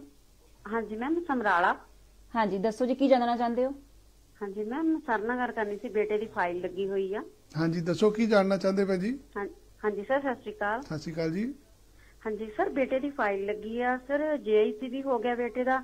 ਤੇ ਸਰ ਬੇਟੇ ਦੇ ਨਾ ਬਾਇਓਮੈਟ੍ਰਿਕ ਰਹਿੰਦੇ ਆ ਤੇ ਬੇਟੇ ਦੀ 5 ਮਈ ਨੂੰ ਬੈਂਡ ਐਕਸਪਾਇਰ ਹੋ ਰਹੇ ਨੇ। ਹਾਂਜੀ ਤੇ ਹਾਂਜੀ। ਸਰ ਹਾਂਜੀ ਸਰ ਪ੍ਰੋਬਲਮ ਤਾਂ ਨਹੀਂ ਕੋਈ ਆਊਗੀ। ਆ ਪ੍ਰੋਬਲਮ ਆਊਗੀ ਜੀ ਹੁਣ ਆਈਲੈਟ ਦੁਬਾਰਾ ਕਰਕੇ ਤੁਸੀਂ ਦੁਬਾਰਾ ਲਾਇਓ ਜਨਵਰੀ ਇਨਟੇਕ ਜਾਂ ਤੁਸੀਂ ਸਤੰਬਰ ਇਨਟੇਕ ਲਾ ਲਿਓ। ਅੱਛਾ ਜੀ। ਕਿਉਂਕਿ ਬਾਇਓਮੈਟ੍ਰਿਕ ਤਾਂ ਹੋਣੇ ਨਹੀਂ ਹੁਣ ਕਿਉਂਕਿ 3 ਮਈ ਤੱਕ ਤਾਂ ਲਾਕਡਾਊਨ ਹੈ ਜੀ। ਹਾਂਜੀ। ਉਸ ਤੋਂ ਬਾਅਦ ਤੁਹਾਡਾ ਫਿਰ ਆਇਲਸ ਐਕਸਪਾਇਰ ਹੋ ਜਾਣਾ ਜੀ। ਹਾਂਜੀ ਸਰ ਆਨਲਾਈਨ ਨਹੀਂ ਕਰ ਸਕਦੇ ਫਾਈਲ ਨਹੀਂ ਆਨਲਾਈਨ ਕਰ ਸਕਦੇ ਬਟ ਬਾਇਓਮੈਟ੍ਰਿਕ ਨਹੀਂ ਨਾ ਹੋਣੇ ਜੀ ਉਹ ਜਦੋਂ ਤੱਕ ਖੁੱਲੂਗਾ ਹੀ ਨਹੀਂ ਕਰਫੂ ਤਾਂ ਉਹ ਜਾਓਗੇ ਕਿੱਦਾਂ ਤੁਸੀਂ? ਹਾਂਜੀ ਹਾਂਜੀ ਸਰ। ਚੰਡੀਗੜ੍ਹ ਜਾਣਾ ਪੈਣਾ ਨਾ ਜੀ ਉੱਥੇ ਜਾ ਕੇ ਤੁਹਾਨੂੰ ਬਾਇਓਮੈਟ੍ਰਿਕ ਕਰਾਉਣ ਲਈ। ਹਾਂਜੀ ਸਰ ਜੀਆਈਸੀ ਹੋਈ ਹੋਈ ਹੈ ਬੇਟੇ ਦੀ ਫਿਰ ਉਹ ਇਦਾਂ ਹੀ ਪਈ ਰਹੂਗੀ। ਨਹੀਂ ਉਹ ਤੁਸੀਂ ਪਈ ਹੈ ਜਾਂ ਵਾ- ਪਈ ਰਹਿੰਦੇ ਤੁਹਾਡੇ ਖਾਤੇ 'ਚ ਹੀ ਪਏ ਵਾਪਸ ਲੈਣੇ ਤੁਸੀਂ ਵਾਪਸ ਲੈ ਸਕਦੇ ਹੋ ਜੀ। ਹਾਂਜੀ। ਜੀ। ਠੀਕ ਠੀਕ ਹੈ ਸਰ। ਜੀ ਧੰਨਵਾਦ ਓਕੇ ਜੀ। ਓਕੇ।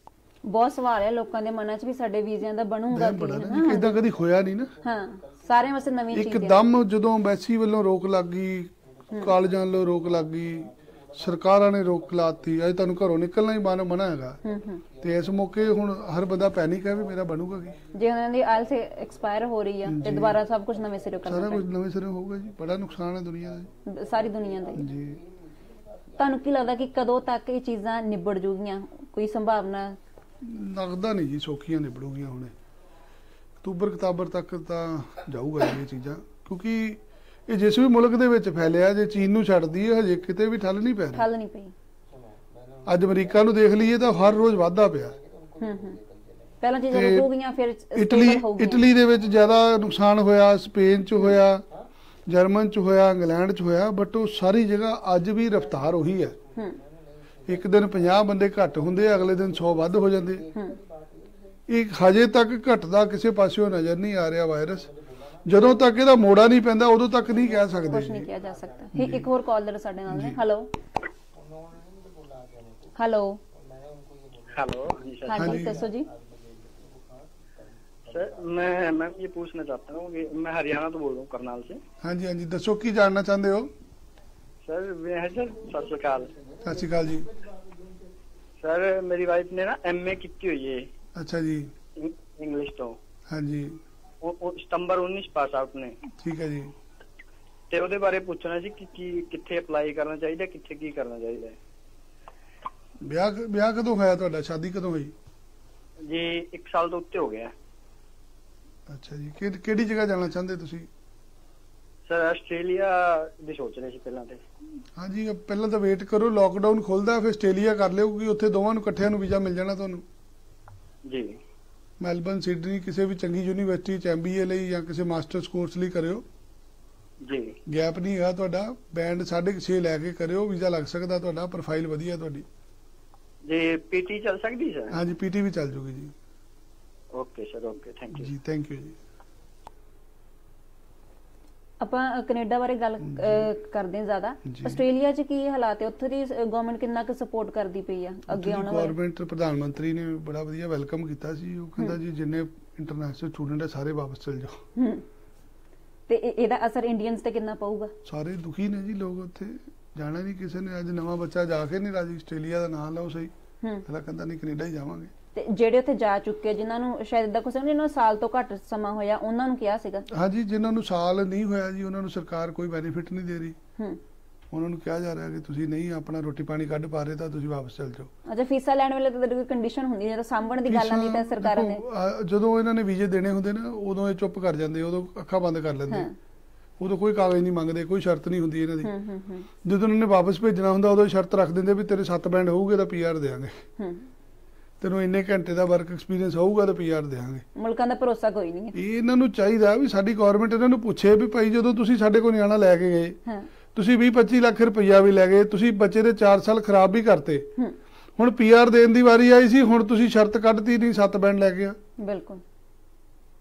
ਜਦੋਂ ਇਹਨਾਂ ਦੇ ਗੋਰਿਆਂ ਨਾਲ ਇੱਥੇ ਸਾਡੇ ਸਾਡੇ ਮੁਲਕ ਦੇ ਵਿੱਚ ਇਦਾਂ ਹੁੰਦਾ ਉਦੋਂ ਇਹ ਲੋਕ ਕਲਪਦੇ ਆ। ਹੂੰ। ਅੱਜ ਕਿਸੇ ਵੀ ਜਗ੍ਹਾ ਦੇ ਉੱਤੇ ਕੋਈ ਜਸਟਿਸ ਨਹੀਂ ਹੋ ਰਿਹਾ। ਜਦੋਂ ਇੰਟਰਨੈਸ਼ਨਲ ਸਟੂਡੈਂਟ ਬਾਹਰ ਜਾਂਦਾ ਉਦੋਂ ਤੁਸੀਂ ਉਹਨੂੰ 5.5 ਬੈਂਡ 6 ਬੈਂਡ ਤੇ ਕਿਉਂ ਵੀਜ਼ਾ ਦਿੰਦੇ ਹੋ? ਤੁਸੀਂ ਉਦੋਂ ਹੀ ਕਹਿ ਦਿਓ ਭਰਾ 7 ਬੈਂਡ ਲਿਆ ਫੇਰ ਹੀ ਵੀਜ਼ਾ ਦੇਾਂਗੇ ਕਿਉਂਕਿ ਪੱਕਾ ਤਾਂ ਹੋਵੇ ਨਾ ਕੱਲ ਨੂੰ। ਜਦੋਂ ਤੁਸੀਂ ਬੰਦਾ ਪੱਕਾ ਕਰਨਾ ਹੁੰਦਾ ਤੁਸੀਂ ਉਹਦੇ ਅੱਗੇ ਕੰਡੀਸ਼ਨਾਂ ਹੀ ਇਹੋ ਜਿਹੀਆਂ ਰੱਖ ਦਿੰਦੇ ਜੇ। ਅਗਲੇ ਬੰਦੇ ਨੂੰ ਵਾਪਸ ਜਾਣਾ ਪੈਂਦਾ। ਆਪਸ਼ਨ ਹੀ ਨਹੀਂ ਬਚ ਰਹੀ ਇਹੀ ਇੱਕ ਰੀਜ਼ਨ ਹੈ ਜਿਹਦੇ ਕਰਕੇ ਲੋਕ ਕੈਨੇਡਾ ਨੂੰ ਤਵੱਜੋ ਦਿੰਦੇ ਆ ਕੈਨੇਡਾ 'ਚ ਪੱਕਾ ਹੋਣਾ ਸੌਖਾ ਹੈ। ਨਿਊਜ਼ੀਲੈਂਡ ਦੀ ਬਜਾਏ। ਜੀ। ਤਾਂ ਨਾਲ ਜਿਹੜੀ ਐਕਸਟਰਨਲ ਅਫੇਅਰ ਮਿਨਿਸਟਰੀ ਆ ਸਾਡੀ ਉਹਨਾਂ ਨੂੰ ਇੰਟਰਫੇਅਰ ਕਰਨਾ ਚਾਹੀਦਾ ਇਹਨਾਂ ਦੇਖੋ ਆਬਾਦੀ ਬਹੁਤ ਜ਼ਿਆਦਾ ਵਾ। ਤੇ ਸਰਕਾਰਾਂ ਜਿੰਨਾ ਕੁ ਹੁੰਦੀਆਂ ਆਪਣੇ ਲੈਵਲ ਤੇ ਕਰਦੀਆਂ ਬਟ ਸਾਡੇ ਲੋਕ ਅੱਖਾਂ ਬੰਦ ਕਰ ਲੈਂਦੇ ਅਪਲਾਈ ਕਰਨ ਲੱਗਿਆ।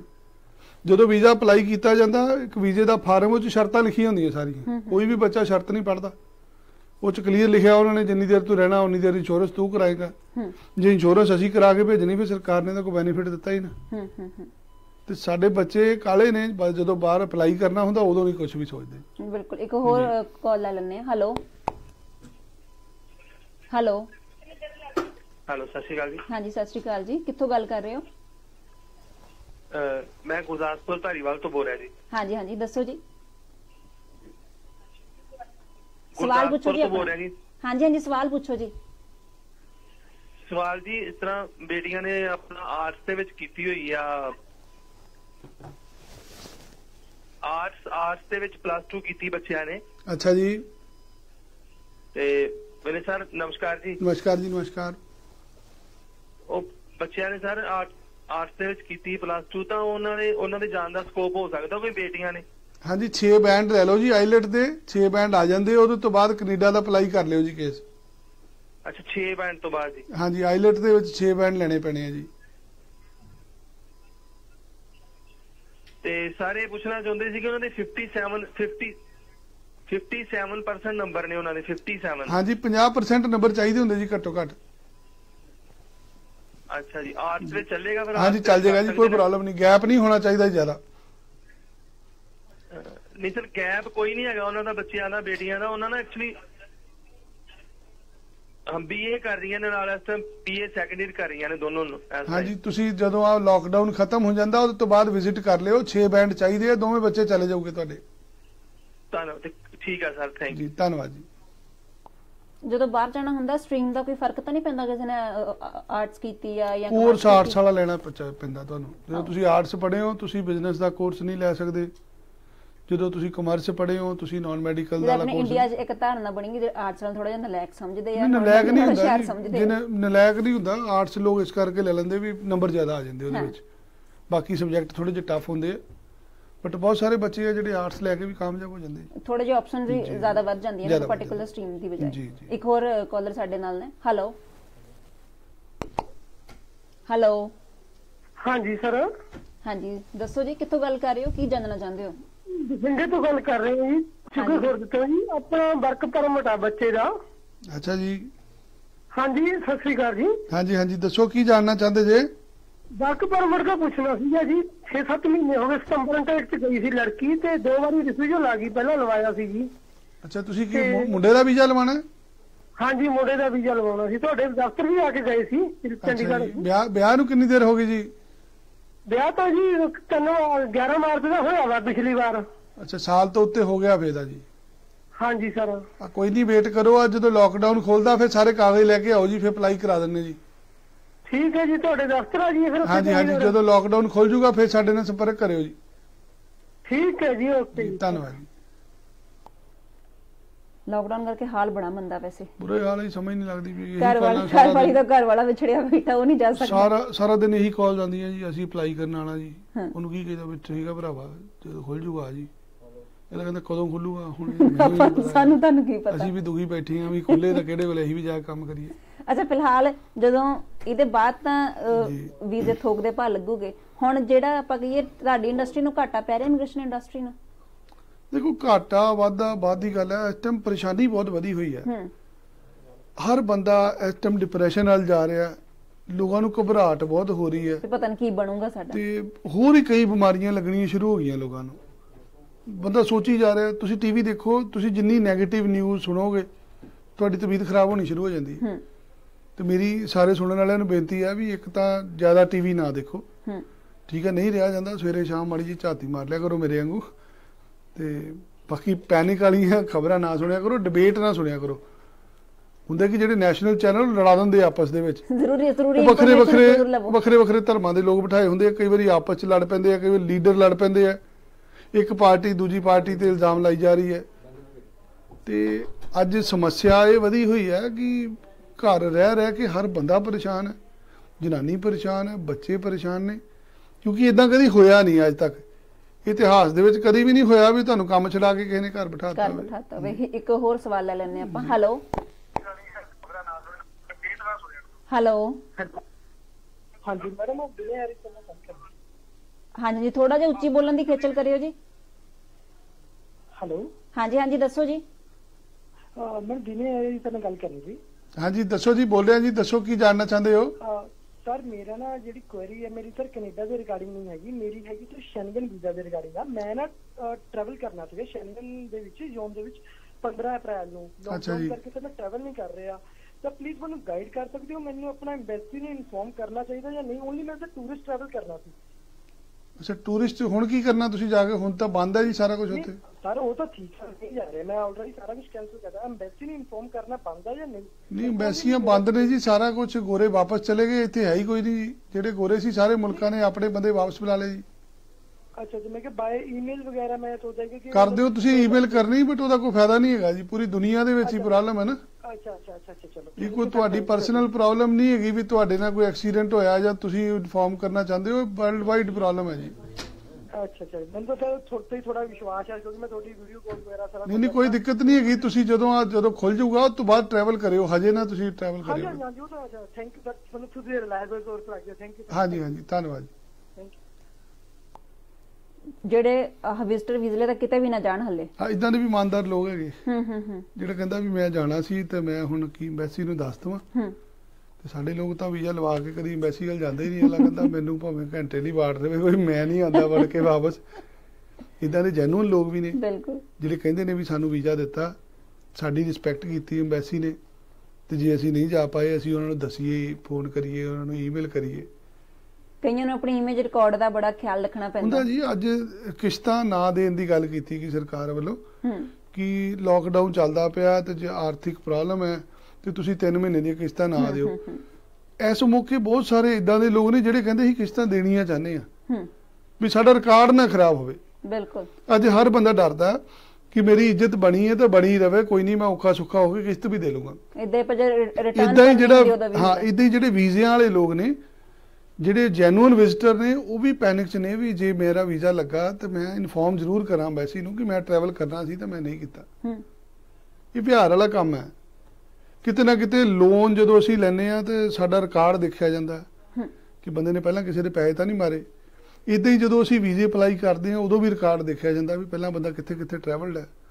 ਜੇ ਇਹਨੂੰ ਵੀਜ਼ਾ ਮਿਲਿਆ ਸੀ ਗਿਆ ਸੀ ਕਿਤੇ ਇਹਨੂੰ ਲਵਾ ਕੇ ਰੱਖਣ ਦਾ ਸ਼ੌਂਕ ਤਾਂ ਨਹੀਂ। ਹੂੰ ਹੂੰ ਕਈ ਲੋਕ ਵੀਜ਼ੇ ਲਵਾ ਲਵਾ ਲਵਾ ਲਵਾ ਪਾਸਪੋਰਟ ਦੀ ਵੈਲਿਊ ਬਣਾਉਣ ਨੂੰ ਨਾ ਪਾਸਪੋਰਟ ਤੇ ਵੀਜ਼ੇ ਲਵਾ ਲਵਾ ਕੇ ਰੱਖੀ ਜਾਂਦੇ ਜਾਂਦੇ ਕਿਤੇ ਨਹੀਂ। ਉਹਨਾਂ ਲੱਗਦਾ ਸ਼ਾਇਦ ਪਾਸਪੋਰਟ ਦੀ ਵੈਲਿਊ ਵਧਦੀ ਰਹੇ ਇਦਾਂ ਦੇ ਕਈ ਤਰ੍ਹਾਂ ਦੀਆਂ ਧਾਰਨਾ ਹੁੰਦੀਆਂ ਲੋਕਾਂ ਦੇ ਬਿਲਕੁਲ ਦਿਮਾਗ 'ਚ। ਇੱਕ ਇੱਕ ਹੋਰ ਸਵਾਲ ਲੈ ਲੈਂਦੇ ਆਪਾਂ। ਹੈਲੋ ਹੈਲੋ ਹਾਂਜੀ ਇਹ ਕਿੱਥੋਂ ਗੱਲ ਕਰ ਰਹੇ ਜੀ? ਹਾਂਜੀ ਮੈਂ ਪਟਿਆਲੇ ਤੋਂ ਬੋਲਦਾ ਜੀ। ਹਾਂਜੀ ਦੱਸੋ ਜੀ ਕੀ ਸਵਾਲ ਤੁਹਾਡਾ? ਮੈਮ ਕੈਨੇਡਾ ਬਾਰੇ ਪੁੱਛਣਾ ਸੀਗਾ ਗੱਲ ਕਰਾ ਦੂੰ ਭਾਜੀ ਨਾਲ। ਹਾਂਜੀ ਦੱਸੋ ਜੀ ਦੱਸੋ ਕੀ ਜਾਣਨਾ ਚਾਹੁੰਦੇ ਹੋ? ਭਾਜੀ ਇਦਾਂ ਹੈਗਾ ਕਿ ਮੈਂ ਇੱਥੇ ਪ੍ਰਾਈਵੇਟ ਜੌਬ ਕਰਦਾ ਜੀ ਹਾਂਜੀ ਪਟਿਆਲੇ ਨਾ। ਹਾਂਜੀ। ਤੇ ਸਾਡੇ ਕੋਈ ਨੋਨ ਹੈਗੇ ਨੇ ਕੈਨੇਡਾ ਉਹ ਉਹਨਾਂ ਦਾ ਆਪਣਾ ਬਿਜ਼ਨਸ ਹੈਗਾ ਉੱਥੇ ਵਧੀਆ। ਅੱਛਾ ਜੀ। ਹਾਂ ਮਤਲਬ ਵਧੀਆ ਮੀਨਸ ਕਿ ਬੈਂਕੁਏਟ ਹਾਲ ਵਗੈਰਾ ਤੇ ਹੋਰ ਹੋਟਲ ਵਗੈਰਾ ਹੈਗੇ ਨੇ। ਹਾਂਜੀ। ਤੇ ਉਹਨਾਂ ਨਾਲ ਮੈਂ ਗੱਲ ਕੀਤੀ ਸੀ ਤੇ ਉਹ ਮੈਨੂੰ ਕਹਿੰਦੇ ਸੀ ਕਿ ਕੋਈ ਅਰੇਂਜਮੈਂਟ ਕਰਵਾਵਾਂਗੇ ਕੋਈ ਐਲਐਮਆਈ ਵਗੈਰਾ ਦਵਾਵਾਂਗੇ ਤੁਹਾਨੂੰ। ਹਾਂਜੀ। ਆਲਰੇਡੀ ਮਤਲਬ ਉਹਨਾਂ ਨੇ 8-9 ਕੁੱਕ ਵੀ ਰੱਖੇ ਨੇ ਉੱਥੇ ਤੇ ਹੈਲਪਿੰਗ ਸਰਵਰ ਵੀ ਜਿਹੜੇ ਹੁੰਦੇ ਹਨ ਸਭ ਕੁਝ। ਰੱਖਿਆ ਹੋਇਆ। ਹਾਂਜੀ। ਤੇ ਮੈਨੂੰ ਸੀਗਾ ਕਿ ਚਲ ਜਿੱਦਾਂ ਮਰਜ਼ੀ ਤੁਸੀਂ ਲੈ ਜਾਓ ਬਸ ਮੈਨੂੰ। ਹਾਂਜੀ। ਤੇ ਇਤੀ ਮਤਲਬ ਮੈਂ ਕਿੱਦਾਂ ਉਹ ਸੋਚ ਸਕਦਾ ਕਿ ਉਹ ਸਹੀ ਕਰਨਗੇ ਮੇਰੇ ਵਾਸਤੇ ਜਾਂ ਗਲਤ ਕਰਨਗੇ ਕਿੱਦਾਂ? ਕਿਉਂਕਿ ਉੱਥੇ ਤੇ ਬੜਾ ਮਹਿੰਗਾ ਵਿਕ ਰਿਹਾ ਭਾਜੀ ਹੁਣ ਪਤਾ ਨਹੀਂ ਕਹਿੰਦੇ ਤੁਹਾਨੂੰ 40 ਲੱਗਦਾ ਕਿ ਕੋਈ ਤੁਹਾਨੂੰ ਇਦਾਂ ਦਾ ਰਿਲੇਸ਼ਨ ਲੱਗਦਾ ਕਿ ਤੁਸੀਂ ਸਵੇਰੇ ਉਹਨਾਂ ਕੋਲੋਂ 25 ਲੱਖ ਰੁਪਇਆ ਮੰਗੋ ਤਾਂ ਤੁਹਾਨੂੰ ਇੰਡੀਆ ਭੇਜ ਦੇਣਗੇ ਉਹ?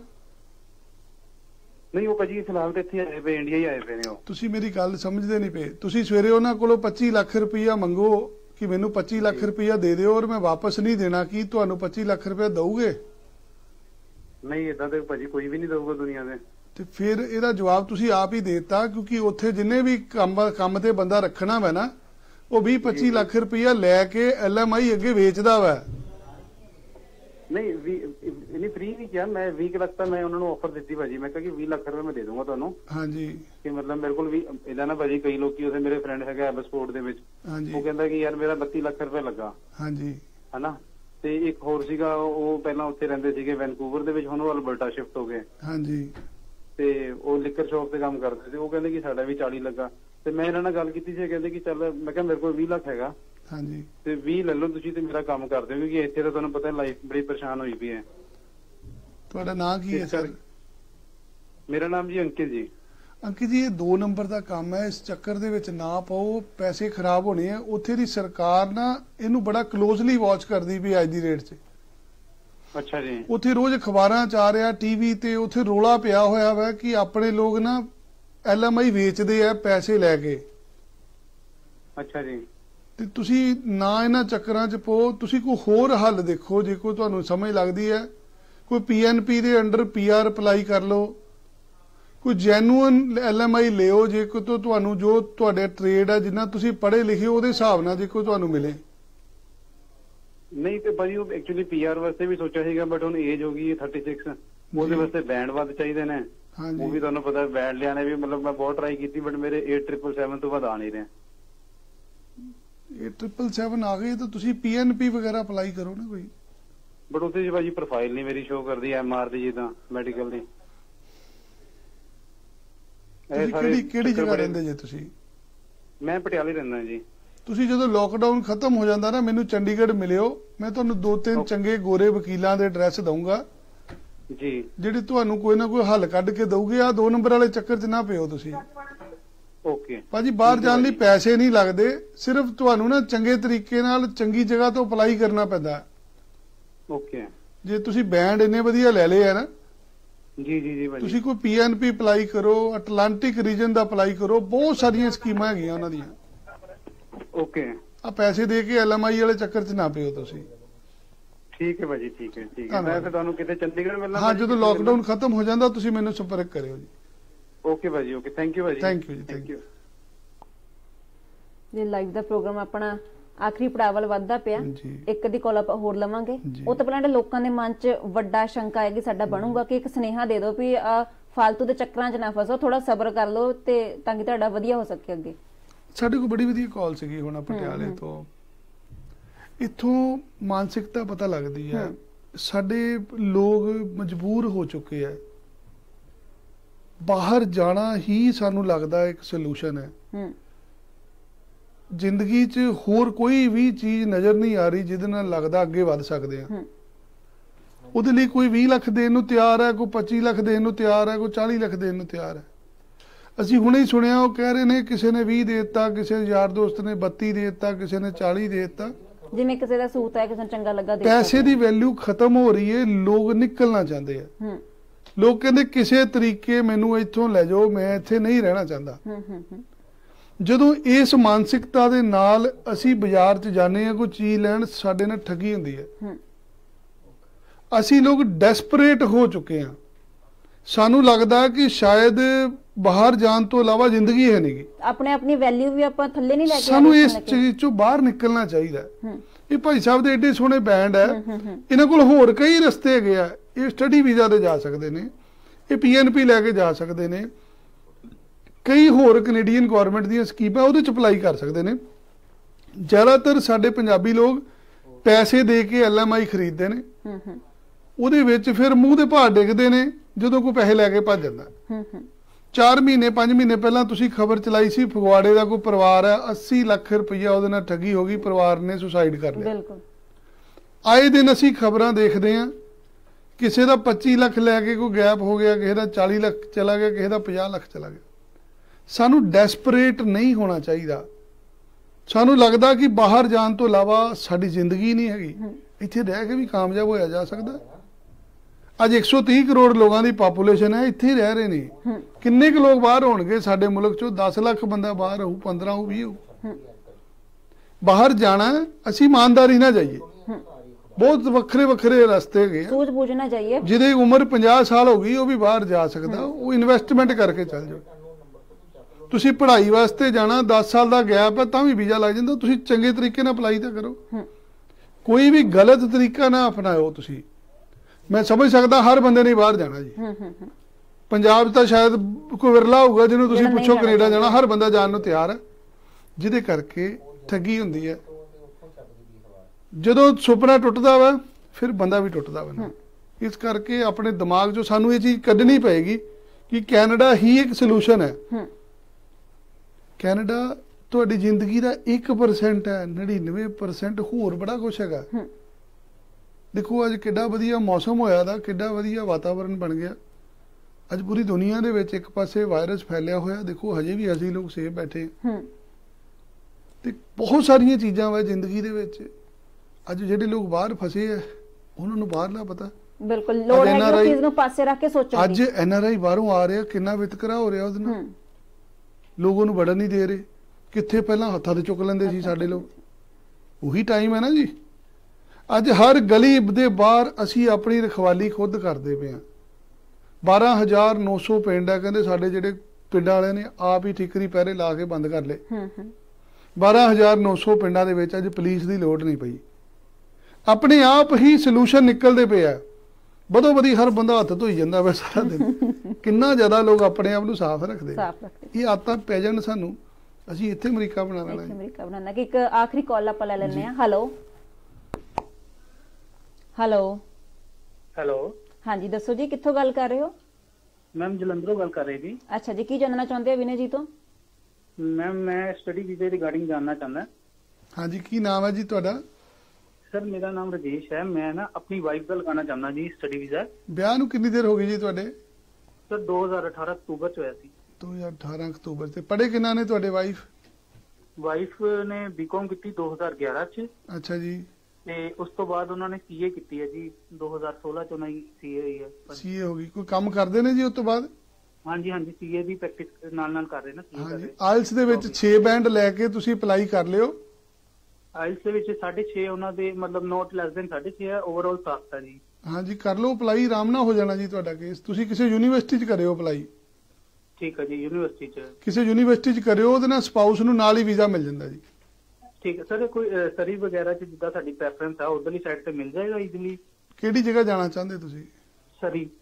ਹਾਂਜੀ ਬਹੁਤ ਸੁਣੀ ਯੂਨੀਵਰਸਿਟੀਆਂ ਹੈ ਜੀ ਉੱਥੇ। 7-8 ਯੂਨੀਵਰਸਿਟੀਆਂ ਆਰਾਮ ਨਾਲ ਐਡਮਿਸ਼ਨ ਹੋ ਜਾਏਗਾ ਤੁਹਾਡਾ। ਠੀਕ ਹੈ ਸਰ। ਜੋ ਲਾਕਡਾਊਨ ਖੁੱਲਦਾ ਫਿਰ ਤੁਸੀਂ ਸੰਪਰਕ ਕਰ ਲਿਓ ਜੀ। ਠੀਕ ਹੈ ਸਰ ਥੈਂਕ ਯੂ ਸਰ ਜੀ ਧੰਨਵਾਦ ਬਿਲਕੁਲ ਜੀ ਧੰਨਵਾਦ। ਤੁਹਾਨੂੰ ਤੁਸੀਂ ਬਹੁਤ ਵਧੀਆ ਜਵਾਬ ਦਿੱਤੇ ਲੋਕਾਂ ਦੇ ਸ਼ੰਕੇ ਦੂਰ। ਕੀਤੇ।